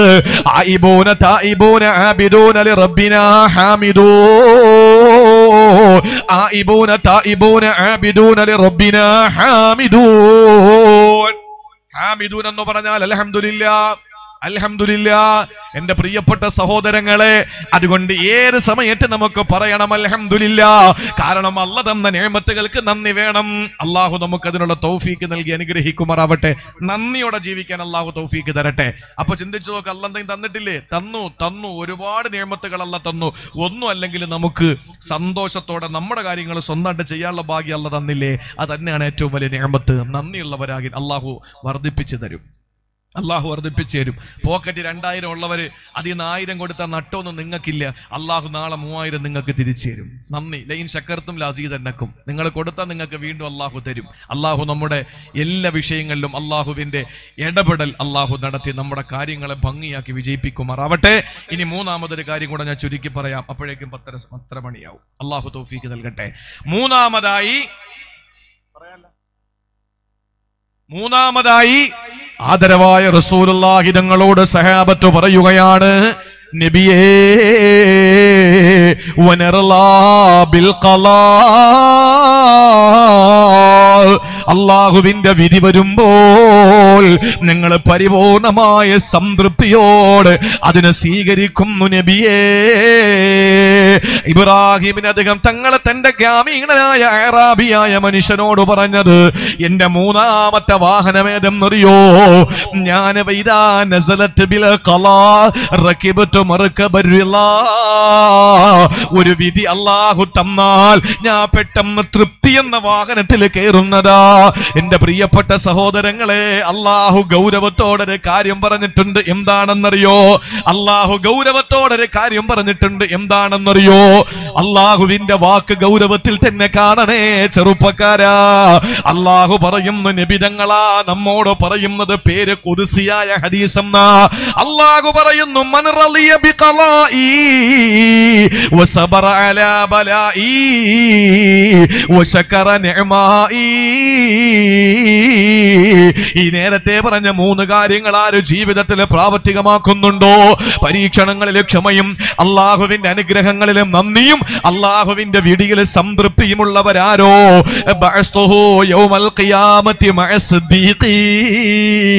അവരെ പരലോകത്ത് സിദ്ദീഖീങ്ങളോടൊപ്പം ഞാൻ എഴുന്നേൽപ്പിക്കുന്നതാ. എന്തൊരു ഭാഗ്യമാണ് സഹോദരാ. സുദ്ദീഖീങ്ങളോടൊപ്പം നാളെ പരലോകത്ത് വരാൻ കഴിയുക. അപ്പൊ ആരായിരിക്കും അമീർ? സിദ്ദീഖീങ്ങളൊപ്പം നമ്മൾ വരുമ്പോ അമീർ ആരാ? ആരാണ്? സിദ്ദീഖ് എന്ന പേരുള്ള ആർക്കാ? മഹാനായ സയ്യദുന അബൂബക്കർ സുദ്ദീഖ് റളിയല്ലാഹു അൻഹുവിന്റെ അമീർ. അദ്ദേഹത്തിന്റെ നേതൃത്വത്തിൽ നമ്മൾ സ്വർഗത്തിലേക്ക് വരുമെന്ന് അഷ്റഫുൽ ഹൽക്ക് നബി മുഹമ്മദ് മുസ്തഫ. എന്തൊരു ഭാഗ്യമാണ് എന്റെ പ്രിയപ്പെട്ടവരെ. സിദ്ധീകതങ്ങൾ ഇവിടെ നബിതങ്ങളുടെ ഏറ്റവും വലിയ നിഴലായിരുന്നു. അപ്പൊ അവിടെ അങ്ങനെയല്ലേ? ഇവിടെ ആരൊക്കെ അടുക്കും? അവിടെ നാളെ തമ്മിൽ എടുക്കും അള്ളാഹു നമ്മൾ അടുപ്പിക്കട്ടെ. എന്റെ പ്രിയമുള്ള സഹോദരങ്ങളെ അതുകൊണ്ട് സിദ്ദീഖികളോടൊപ്പം നാളെ ഒരുമിച്ച് കൂട്ടും. എന്നിട്ട് അള്ളാഹു ഒരു വാണിംഗ് കൂടെ തന്നു. അതാണ് നമുക്ക് ഗൗരവം. ഏതാ പറഞ്ഞത്? മല്ലം വലം അലാ എന്റെ വിധിയിൽ നിങ്ങൾക്ക് പൊരുത്തപ്പെടാ കഴിയുന്നില്ലെങ്കിൽ ഞാൻ തരുന്ന പരീക്ഷണങ്ങളെ നിങ്ങൾക്ക് ക്ഷമിക്കാൻ കഴിയുന്നില്ലെങ്കിൽ സമായി എന്റെ ആകാശത്തിന്റെ ചുവട്ടിൽ നിന്ന് പൊക്കോടാ എവിടെ പോവും? നമ്മൾ എവിടേക്ക് പോകും? ഞാനല്ലാത്ത വേറെ റബ്ബിനെ നീ തേടിക്കോടാ. ഞാനല്ലാത്ത ഒരു റബ്ബിനെ നീ തേടിക്കോടാ. അള്ളാഹു പറയുകയാണ് എന്റെ പ്രിയപ്പെട്ടവരെ നമുക്ക് റബ്ബല്ലാത്ത ഒരു റബ്ബല്ലാത്ത ഒരു പടച്ചവനല്ലാത്ത ഒരു സംരക്ഷകന് വേറെയില്ല. ഈ ആകാശത്തിന്റെ ചുവട്ടിൽ നിന്ന് നമ്മൾ എങ്ങോട്ട് പോകാനാ? ഇനി പാകിസ്ഥാനിൽ പോയാലും റബ്ബിന്റെ ആകാശത്തിന്റെ ചുവട് തന്നെ. ഇനി അഫ്ഗാനിസ്ഥാനിൽ പോയാലും റബ്ബിന്റെ ആകാശത്തിന്റെ ചുവട്ടിൽ തന്നെ. ഇനി അതല്ല ബംഗ്ലാദേശിൽ പോയാലും അള്ളാഹുവിന്റെ ഭൂ ആകാശത്തിന്റെ ചുവട്ടിൽ തന്നെ. ഇത് മൂന്നാണല്ലോ ഇപ്പോഴത്തെ പ്രശ്നം. എന്റെ പ്രിയപ്പെട്ട സഹോദരങ്ങളെ അതുകൊണ്ട് നമ്മുടെ ജീവിതത്തിൽ നമ്മൾ അല്ല തരുന്നതിനെ തൃപ്തിപ്പെടുക. ആക്രാന്തം എന്തിനാ? അല്ല തരുന്ന അത്രേ ഉള്ളൂ അലഹമില്ല അത് പറയാൻ നമുക്ക് കഴിയണം. തൃപ്തിപ്പെടാൻ നമുക്ക് കഴിയണം. സംതൃപ്തി ഇല്ലാത്ത ഒരാൾക്ക് അള്ളാഹുവിന്റെ റസൂൽ പഠിപ്പിക്കുകയാണ്. എന്താണ് അവന്റെ അവസ്ഥ എന്നറിയോ? സംതൃപ്തി ഇല്ല എങ്കിൽ അള്ളാഹു പറഞ്ഞു സല്ലത്തു അലൈക്ക ദുനിയ. നിന്റെ മേൽ ദുനിയാവിനെ ഞാൻ അധികാരപ്പെടുത്തും. ഞാൻ ചോദിക്കട്ടെ ഇവിടെ പണമുള്ള ഒരാളെയും പണം ഇല്ലാത്ത ഒരാളെയും കൂടെ എടുക്കും. ഇപ്പൊ ഇത്രയും സഹോദരിമാർ വാഴ കേൾക്കാൻ വന്നല്ല ഇത്രയും സഹോദരിമാര്. സാധാരണ പല സ്ഥലങ്ങളിലായിരിക്കുന്നത്. ഇവിടെ എല്ലാവരും ഒരുമിച്ചായിരിക്കുന്നത്. ഇത്രയും സഹോദരിമാരിയ്ക്കുന്നല്ലോ ഇതിൽ പണക്കാരി ഉണ്ട് പാവപ്പെട്ടവളും ഉണ്ട്. ഉണ്ടല്ലോ ഉണ്ടാവുമല്ലോ. ഇതിപ്പോ നിങ്ങൾ ഇങ്ങനെ ഇരിക്കുന്നുണ്ട ഈ പൗരത്വ ബില്ല് ഉണ്ടെന്ന് ഞാനാണെന്നാണ് തോന്നുന്നത്. ഇതിൽ പണക്കാരികളും ഉണ്ട് പാവപ്പെട്ടവരും ഉണ്ട്. ഉണ്ട് പാവപ്പെട്ടവർ ഇവിടെ ഇരിക്കുമ്പോ ചിന്ത എന്താണെന്നറിയോ? വാൾ സുബൈ വരെ നീണ്ടാലും കുഴപ്പമൊന്നുമില്ല. വീട്ടിൽ പോയാലും കഴിക്കാൻ ഒന്നുമില്ല കഴിക്കാനോ ഇനിയിപ്പോ ഇവിടെ കുറച്ചു നേരം ഇരുന്ന ചായ വീണ്ടും തരും. അതെങ്കിലും കുടിക്കാം. വീട്ടിൽ പോയിട്ട് ഇപ്പൊ എന്ത് ചെയ്യാനാ? നല്ലവരൊന്ന് കിടക്കാൻ പോലും പറ്റൂലല്ലോ. എന്നാ പണക്കാരികൾ ഇവിടെ ഇരുന്ന് ചിന്തിക്കാൻ ഇവിടത്തെ സ്ത്രീകളെ ഞാൻ ആക്ഷേപിച്ച് പറയുന്നതല്ല. അല്ല പണം കൊടുത്തിട്ടുള്ളവർ ചിന്തിക്കുന്നത് എന്താ? റബ്ബേ ഇത് നിർത്തിയിട്ട് വേണം പടച്ചോനെ. അലമാര ആരെങ്കിലും കുത്തി തുറന്നാന്തോ വീട് കുത്തി തുറന്നാന്തോ ആരെങ്കിലും. എല്ലായിടത്തും മേശപ്പുറത്ത് വെച്ചിട്ട് തലമാരൊക്കെ തിരിച്ചു വെച്ചോന്തോ എന്നൊക്കെ ടെൻഷനായിട്ടാണ് പെണ്ണുങ്ങൾ ഇരിക്കുന്നത്. അള്ളാഹു താല ഈ കോടി കോടികൾ കൊടുത്തു അംബാനിക്കും അദാനിക്കൊന്നും പത്ത് പേരുടെ മുമ്പിൽ ഇറങ്ങി നിൽക്കാൻ പറ്റുമോ? നമുക്ക് ഏത് തട്ടടയിലും പോയിരുന്ന് ചായ കുടിച്ചൂടെ നമുക്ക് സന്തോഷമായിട്ട് ഒറ്റയ്ക്ക് പൊക്കൂടെ ഇവിടെ ആർക്കെങ്കിലും ഒറ്റയ്ക്ക് പോകാൻ പറ്റുമോ? പണക്കാരൻ കോടീശ്വരനായ ഒരു മനുഷ്യന് ഒന്നുമില്ലാതെ ഇതുവഴി പോകാൻ പറ്റുമോ? ഇപ്പോഴും കോടീശ്വരന്മാര് ഗൺമാന്മാരെ കൊണ്ടാ നടക്കുന്ന കാരണം എപ്പോഴാ തട്ടിക്കളയുന്നെന്ന് പറയാൻ പറ്റൂല. തട്ടിയിട്ടവന്റെ എല്ലാം കൂടെ പിടിച്ചു പറിച്ചോണ്ട് പോയാൽ അറിയില്ല. അതുകൊണ്ട് അവർ ആളുകളെ സെക്യൂരിറ്റിയും കൊണ്ടാ നടക്കുന്നത്. നമുക്ക് എന്ത് സെക്യൂരിറ്റി നമ്മൾ തന്നെ നമ്മുടെ സെക്യൂരിറ്റി എന്റെ പ്രിയപ്പെട്ട സഹോദരങ്ങളെ നമുക്കൊരു പേടിയില്ല. കാരണം എന്താ? നമ്മളിൽ മടിയിൽ മടിയെന്നല്ലേ ഇവിടെ പറയുന്ന? മടി. മടിയിൽ കനം ഉണ്ടെങ്കിലേ വഴിയിൽ പേടിക്കേണ്ടിയുള്ളൂ അല്ലേ? നടന്നു പോകുന്ന മടിയിൽ വല്ലതും ഉണ്ടെങ്കിൽ വഴി ഇരിക്കുന്നവനെ പേടിക്കണം. ഒന്നുമില്ലെങ്കിൽ പിന്നെന്താ തുണി അഴിച്ചിട്ട് പോലും കുഴപ്പമൊന്നുമില്ല. എന്റെ പ്രിയപ്പെട്ട സഹോദരങ്ങളെ അതുകൊണ്ട് നമുക്കൊരു പേടിയില്ല കാരണം നമ്മുടെ കയ്യിലൊന്നുമില്ല. ടെൻഷനില്ല. ടെൻഷനില്ല. അല്ല തന്നത് കുറച്ചാണെങ്കിലും നമുക്ക് ഒരു ടെൻഷനും ഇല്ല ദുനിയാവിനെ നമ്മൾ പിന്നെ പിന്നെ പ്രൊട്ടക്റ്റ് ചെയ്യേണ്ട ദുനിയാവ് നമ്മളെ പ്രൊട്ടക്റ്റ് ചെയ്തോളും. നമ്മുടെ വീട്ടിൽ കിടന്ന ആ വീട് തന്നെയാണ് നമ്മുടെ സംരക്ഷണം. പക്ഷേ പണമുള്ളവന് നേരെ തിരിച്ച പണത്തിന്റെ മുമ്പിൽ കാതൽ കാവൽ കിടക്കേണ്ടത് യവനാണ്. ഇവൻ കോടീശ്വരനാണെങ്കിൽ പോലും പണത്തിന് കാവൽ ഇവൻ കിടക്കണം അല്ലേ? പണത്തിന് കാവൽ ഇവൻ കിടക്കണം. പക്ഷെ പാവപ്പെട്ടവനാണെങ്കിലോ ഉള്ള പൈസ അവനെ സംരക്ഷിച്ചോളും പണക്കാരനാണെങ്കിലോ പൈസ മൊത്തം അവൻ സംരക്ഷിച്ചോളണം. അതാണ് പാവപ്പെട്ടവരും പണക്കാരനും തമ്മിലുള്ള വ്യത്യാസം. മറ്റൊരു വ്യത്യാസം കൂടെ എന്താണെന്നറിയോ പൊരിച്ച പപ്പടവും പൊരിക്കാത്ത പപ്പടം പോലെയാണ്. പൊരിച്ച പപ്പടവും പൊരിക്കാത്ത പപ്പടം. പൊരിക്കാത്ത പപ്പടത്തിന്റെ പ്രത്യേകത എന്താ? എവിടെ എടുത്തിട്ടാലും അവിടെ കിടക്കും. മൂന്ന് നില കെട്ടിടത്തിന്റെ മുകളിൽ നിന്ന് എടുത്തെറിഞ്ഞാലും താഴെ വന്ന് കിടക്കും. ഒരു പോറലും ഏൽക്കൂല. പക്ഷെ അതിൽ പൊടിയുണ്ടാവും കാണുമ്പോൾ രസമില്ല. എപ്പോഴും പൊടിയാണ്. നമ്മൾ പൊരിക്കാൻ നേരത്ത് പോലും പൊടി തട്ടിയിട്ടാ പൊരിക്കുന്നത്. സമയമുണ്ടെങ്കിൽ. എന്റെ പ്രിയപ്പെട്ട സഹോദരങ്ങളെ എന്നാ മറിച്ച് പണക്കാരന്റെ അവസ്ഥ എന്താ? തൊട്ടാൽ ശബ്ദം കേൾക്കും. അല്ലേ? നല്ല ഗോൾഡൻ കളറായിരിക്കും. പ്ലപ്ള ഇരിക്കും. പക്ഷേ ഇരിക്കുന്ന പ്ലേറ്റിൽ നിന്ന് പാത്രത്തിൽ നിന്ന് മേശപ്പുറത്ത് വീണാ മതി. ഒമ്പതായിട്ട് ഒടിഞ്ഞു പോകും. ഇല്ലേ? ഇതാണ് പണക്കാരനും പാവപ്പെട്ടവനും തമ്മിലുള്ള വ്യത്യാസം. പാവപ്പെട്ടവന് ഒന്നും നശിക്കാനില്ല. എടുത്തിട്ട് ആ നനഞ്ഞ കോടാൻ അവിടെ കിടക്കും. പക്ഷേ പണക്കാരൻ അങ്ങനല്ല അവന് പേടിക്കേണ്ടതുണ്ട്. തൊട്ട ശബ്ദം കേൾക്കും. കാണാൻ ഗോൾഡൻ ആണ്. ഇങ്ങനെ ടിപ് ടോപ്പ് സ്റ്റിഫാൻ ഷൈനും വിദേശ പെർഫ്യൂം ഒക്കെ മണക്കും. പക്ഷേ തൊട്ടാ തീർന്ന് പഴുത്ത് നടക്കുക. അതുകൊണ്ടാണല്ലോ പാവപ്പെട്ടവൻ ഗതിയില്ലാത്തവൻ ആശുപത്രിയിൽ പോയാൽ പറയും ചുമയും കുരയും പിടിച്ചിട്ട് പോയാൽ അവനോട് പറയും രണ്ട് നേന്ത്രപ്പഴവും രണ്ട് ഗ്ലാസ് പാലും അഞ്ച് കോഴിമുട്ട തിന്നാൻ പറയും. ഇവന് എലിവശം വാങ്ങാൻ പൈസ എല്ലാം അടക്കുന്നവനാ. ഇവനോട് കഴിക്കാൻ പറയുന്നതാണ്. നേരെ മറിച്ച് ഉള്ള ഉള്ള വീട്ടിൽ നിന്ന് പണക്കാരൻ ബെൻസിൽ ചെന്നിറങ്ങി ഡോറൊക്കെ തുറന്നിട്ട് കൊടവയറും പെരുവയറും കൊണ്ട് ചെന്നിരിക്കുമ്പോഴോ? ഇവന് കോടീശ്വരനാണ്. ഇവന് വേണമെങ്കിൽ ഏത്ത ഏത്ത കായ അല്ല ഏത്ത കൊല വിഴുങ്ങാനും അവന്റെ പൈസ ഉണ്ട് എന്നാലും അവനോട് പറയുന്നത് നിങ്ങൾ കൂടിപ്പോയ മൂന്ന് ചപ്പാത്തി ദിവസം വേറൊന്നും കഴിക്കരുത്. ഇതാണ് വ്യത്യാസം. ഇതാണ് വ്യത്യാസം. അള്ളാഹു തരുന്നത് തൃപ്തിപ്പെട്ടാൽ എന്റെ പ്രിയപ്പെട്ടവരെ നമ്മൾ രക്ഷപ്പെട്ടു. മനസ്സിന് സമാധാനം. അറഹത്തു കൽബക്കവ ബദനക്ക ബദനക. നിന്റെ ഹൃദയത്തിലും നിന്റെ ശരീരത്തിലും ഞാൻ ആരോഗ്യം തരും സംരക്ഷണം തരും സന്തോഷം തരും റാഹത്ത് തരും. ഒരു ടെൻഷനും ഇല്ല. ഇനി നേരെ മറിച്ച് നീ ദുനിയാവ് ഞാൻ തരുന്ന നിനക്ക് തൃപ്തിപ്പെടാൻ കഴിഞ്ഞില്ലെങ്കിലോ?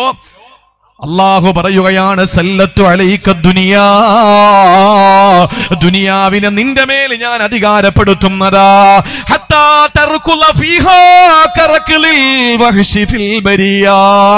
കാടുകളിൽ മൃഗങ്ങൾ ഓടിച്ചാടി നടക്കും പോലെ നീ നടക്കുന്നതാണ്.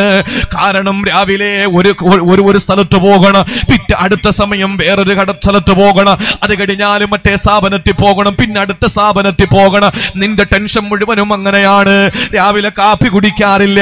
ഉച്ചയ്ക്ക് ചോറ് കഴിച്ചാ കഴിച്ചില്ലെങ്കിൽ ഇല്ല കാരണം അടുത്ത ഹോട്ടലിൽ നിന്ന് വിളി വരുന്നു. അടുത്ത ലോഡ്ജിൽ നിന്ന് വിളി വരുന്നു. അടുത്ത ജുവല്ലറിയിൽ നിന്ന് വിളി വരുന്നു. ഇങ്ങനെ ഉണ്ടാക്കി ഉണ്ടാക്കി ഇടുമ്പോ നിനക്ക് എന്ത് കിട്ടാനാ? രാജാവിന്റെ മുമ്പിൽ വന്നിട്ടൊരു പാവപ്പെട്ടവന് താണകേണ അപേക്ഷിച്ചു പറഞ്ഞു ഒന്നുമില്ല രാജാ.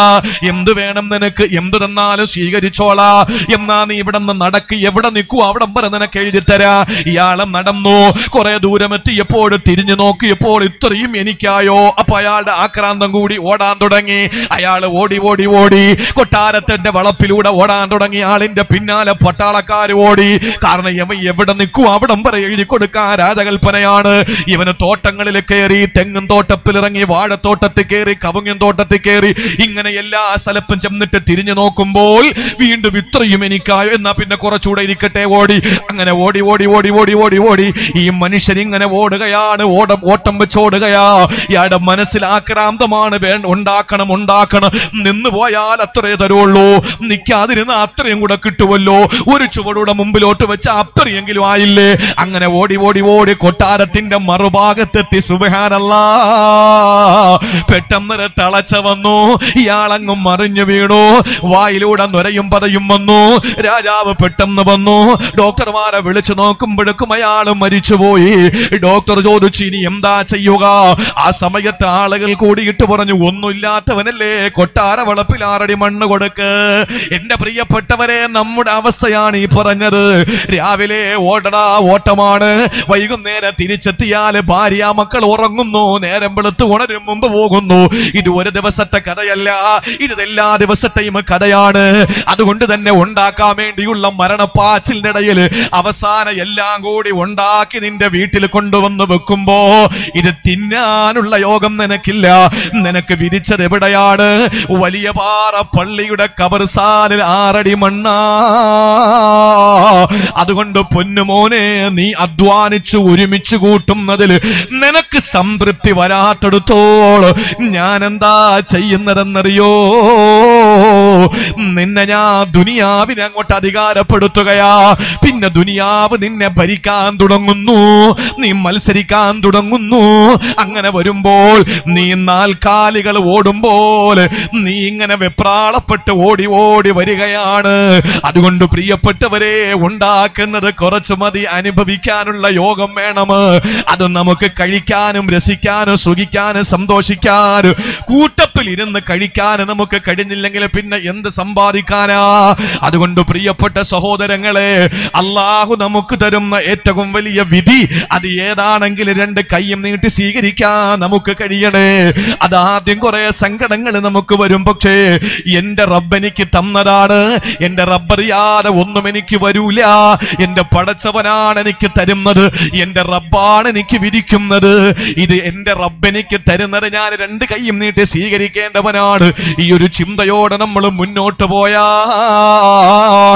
പ്രിയപ്പെട്ട സഹോദരങ്ങളെ വിജയം നമുക്കാ. നമ്മൾ സമ്പൂർണ മോമിനികളാ നമ്മുടെ ഈമാന് പൂർണമായവരാ നമുക്ക് വേണ്ട ആത്മീയ വാഹനങ്ങളും അത് തന്നെയാണ്. അതുകൊണ്ട് മറക്കല്ലേ മുസ്ലിമേ? മറന്നു പോകല്ലേ? ഒരു ചെറിയ കാര്യം കൂടി ഞാൻ പറയുകയാണ്. മഹാനായ സയ്യിദുന കലീമുല്ലാഹി മൂസ.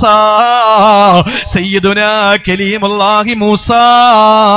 അലൈഹി സലാത്തു വസല ഒരു ദിവസം നോക്കുമ്പോൾ അർശിന്റെ തൊട്ട് താഴെ ഒരു മനുഷ്യനെ കാണുകയാ. അർഷം എന്ന് പറഞ്ഞാൽ അള്ളാന്റെ സിംഹാസനമാണ് പെങ്ങൾ ആ സിംഹാസനത്തിന്റെ ചുവട്ടിലതാ ഒരു മനുഷ്യനെ കാണുകയാ. ആ മനുഷ്യൻ അർശിന്റെ താഴ്ഭാഗത്തെത്തപ്പെട്ടത് എങ്ങനെയാണ്? അള്ളാഹുവിനോട് ചോദിച്ചു റബ്ബേ ഈ മനുഷ്യനാരാ അല്ല തിരിച്ചു ചോദിച്ചു മൂസ നബിയെ ഇതാരാണെന്നറിയുന്നതിനേക്കാൾ ഇയാൾ എങ്ങനെ ഇവിടെ എത്തി എന്നറിഞ്ഞാ പോരെ? മതി പടച്ചവനെ ഇയാൾ എന്ത് ചെയ്തിട്ടാ അവിടെ എത്തിയത്? അള്ളാഹു മൂസ നബിയോട് പറഞ്ഞു മൂസ നബിയേ ഈ അറസിന്റെ താഴ്ഭാഗത്ത് ഇയാൾക്ക് എത്താൻ കഴിഞ്ഞത് മൂന്ന് കാര്യങ്ങൾ കൊണ്ടാണ്. ആ മൂന്ന് കാര്യങ്ങൾ ഏതാണ്? പൈസ പറയാ പറയാം. പണം അങ്ങോട്ട് അള്ളാഹു മനസ്സിലാക്കാനുള്ള തൗഫീക്ക് തരട്ടെ. എന്റെ പ്രിയപ്പെട്ട സഹോദരങ്ങളെ ആ മൂന്ന് വിഭാഗം ആളുകളെ ഇൻഷാല്ല ഞാൻ പറയാം. അതിനു മുമ്പായി എന്റെ കാര്യം കൂടി പറയാണ്. എന്റെ പ്രിയപ്പെട്ട സഹോദരങ്ങളെ ഈ മദ്രസ ഇനിയും നമ്മൾ ഇങ്ങനെ ഉപേക്ഷിച്ചിട്ടാൽ നമുക്ക് അള്ളാന്റെ പരീക്ഷണം ഉണ്ടാവും. ഇനി വരുന്നത് വലുതായിരിക്കും. വല നൊതി അത്ര കച്ചവടക്കാരനടുത്ത് എന്നാൽ കലത്തോടടുത്ത് കമത്തി തരൂല നമുക്ക്. ചെയ്യുന്ന എന്താണ്? അവന്റെ ചെറിയ ഒരു കോൽ കൊണ്ട് തൊട്ടിട്ട് എവിടെയെങ്കിലും ഒന്ന് ഇങ്ങനെ മൈക്രോസ്കോപ്പ് വെച്ച് നോക്കണം. അങ്ങനെ തൊട്ടിട്ട് കൊണ്ടുപോകും. എന്നിട്ട് നമ്മൾ മണത്ത് നോക്കി ഇഷ്ടപ്പെട്ട കുപ്പിയിൽ ഒഴിച്ചു തരും. അതാണ് അതാണ് അത്ര കച്ചവടക്കാരൻ. അല്ല അങ്ങനെ തന്നെ. വല നൊതി കന്നഹും മിനൽ അദാബിൽ അതിന ചെറുതല്ല തരും ദൂനൽ അതാബിൽ അക്ബർ വലുത് പിന്നീടേ തരുള്ളൂ. ആദ്യത്തെ പ്രളയമാണോ രണ്ടാമത് പതിനെട്ടിലെ പ്രളയമാണോ പത്തൊമ്പതിലെ പ്രളയമാണോ ഭീകരമായത്? പറയും. ഏതാ? ഏ? പത്തൊമ്പത്. എന്നെ രക്ഷപ്പെടുത്താനാ? അല്ലല്ല. പതിനെട്ടിലൊരു ഭീകര ഒരു ഒരു ഒരു ഭൂ എന്തായി പ്രളയമുണ്ടായി. അത് ഭീകരമായി. പത്തൊമ്പത് അതിനേക്കാളും ഭീകരം. അപ്പൊ ഇരുപതിലോ? ഇരുപതിൽ നേരത്തെ വന്നില്ലേ? പാർലമെന്റ് രണ്ടെണ്ണം കിടക്കല്ലേ ഇതിനപ്പുറം ഇനി എന്ത് ഭൂകമ്പം വരാല അപ്പൊ ഏതായാലും എന്റെ പ്രിയപ്പെട്ട സഹോദരങ്ങളെ വലിയ വലിയ ഭൂകമ്പങ്ങളും ഭൂചലനങ്ങളും ഭീകരമായ അവസ്ഥയും നമ്മൾ അനുഭവിക്കേണ്ടി വരുന്നു അല്ലേ?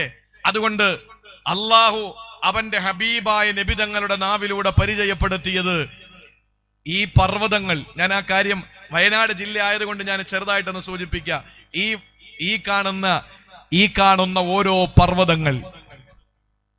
ഇവിടെയൊക്കെ പർവതം ഉണ്ടല്ലേ? രാത്രി പിന്നെ കണ്ടു. അവിടെയാണല്ലേ? ആ. അപ്പൊ ആ പർവതം ഈ ഭൂമി നമ്മൾ കരുതുന്നു സുനാമിയിൽ നിന്ന് അള്ളാഹു നമ്മളെ കാത്തില്ലേ? കാരണം കടൽ ഇവിടെ ഒന്നും ഇല്ലല്ലോ. കടൽ ഇവിടെ ഒന്നും ഇല്ലല്ലോ. കടലും ഭൂമിയും പർവതവും അള്ളാഹുവിനോട് ചോദിക്കുമെന്ന് പടച്ചവനെ നിന്നെ അനുസരിക്കാത്തവരെ ഞങ്ങൾ ഒരു പാഠം പഠിപ്പിക്കട്ടെ. പർവതം പറയും ഞങ്ങൾ ഇടിഞ്ഞ് ഉരുൾപൊട്ടി അവിടെ തലയിലൂടെ വീഴട്ടെ. ഹദീസാൻ ഹദീസാൻ സമുദ്രം ചോദിക്കുന്നു പടച്ചവനെ ഞങ്ങൾ അവരെ പോയി ഇങ്ങ് തുടച്ചെടുത്തോണ്ട് വരട്ടെ. വീണ്ടും ഭൂമി ചോദിക്കുന്നു ഞങ്ങൾ ഒന്ന് വാ തുറന്നിട്ട് അവരെ വിഴുങ്ങട്ടെ. ഹദീസ്.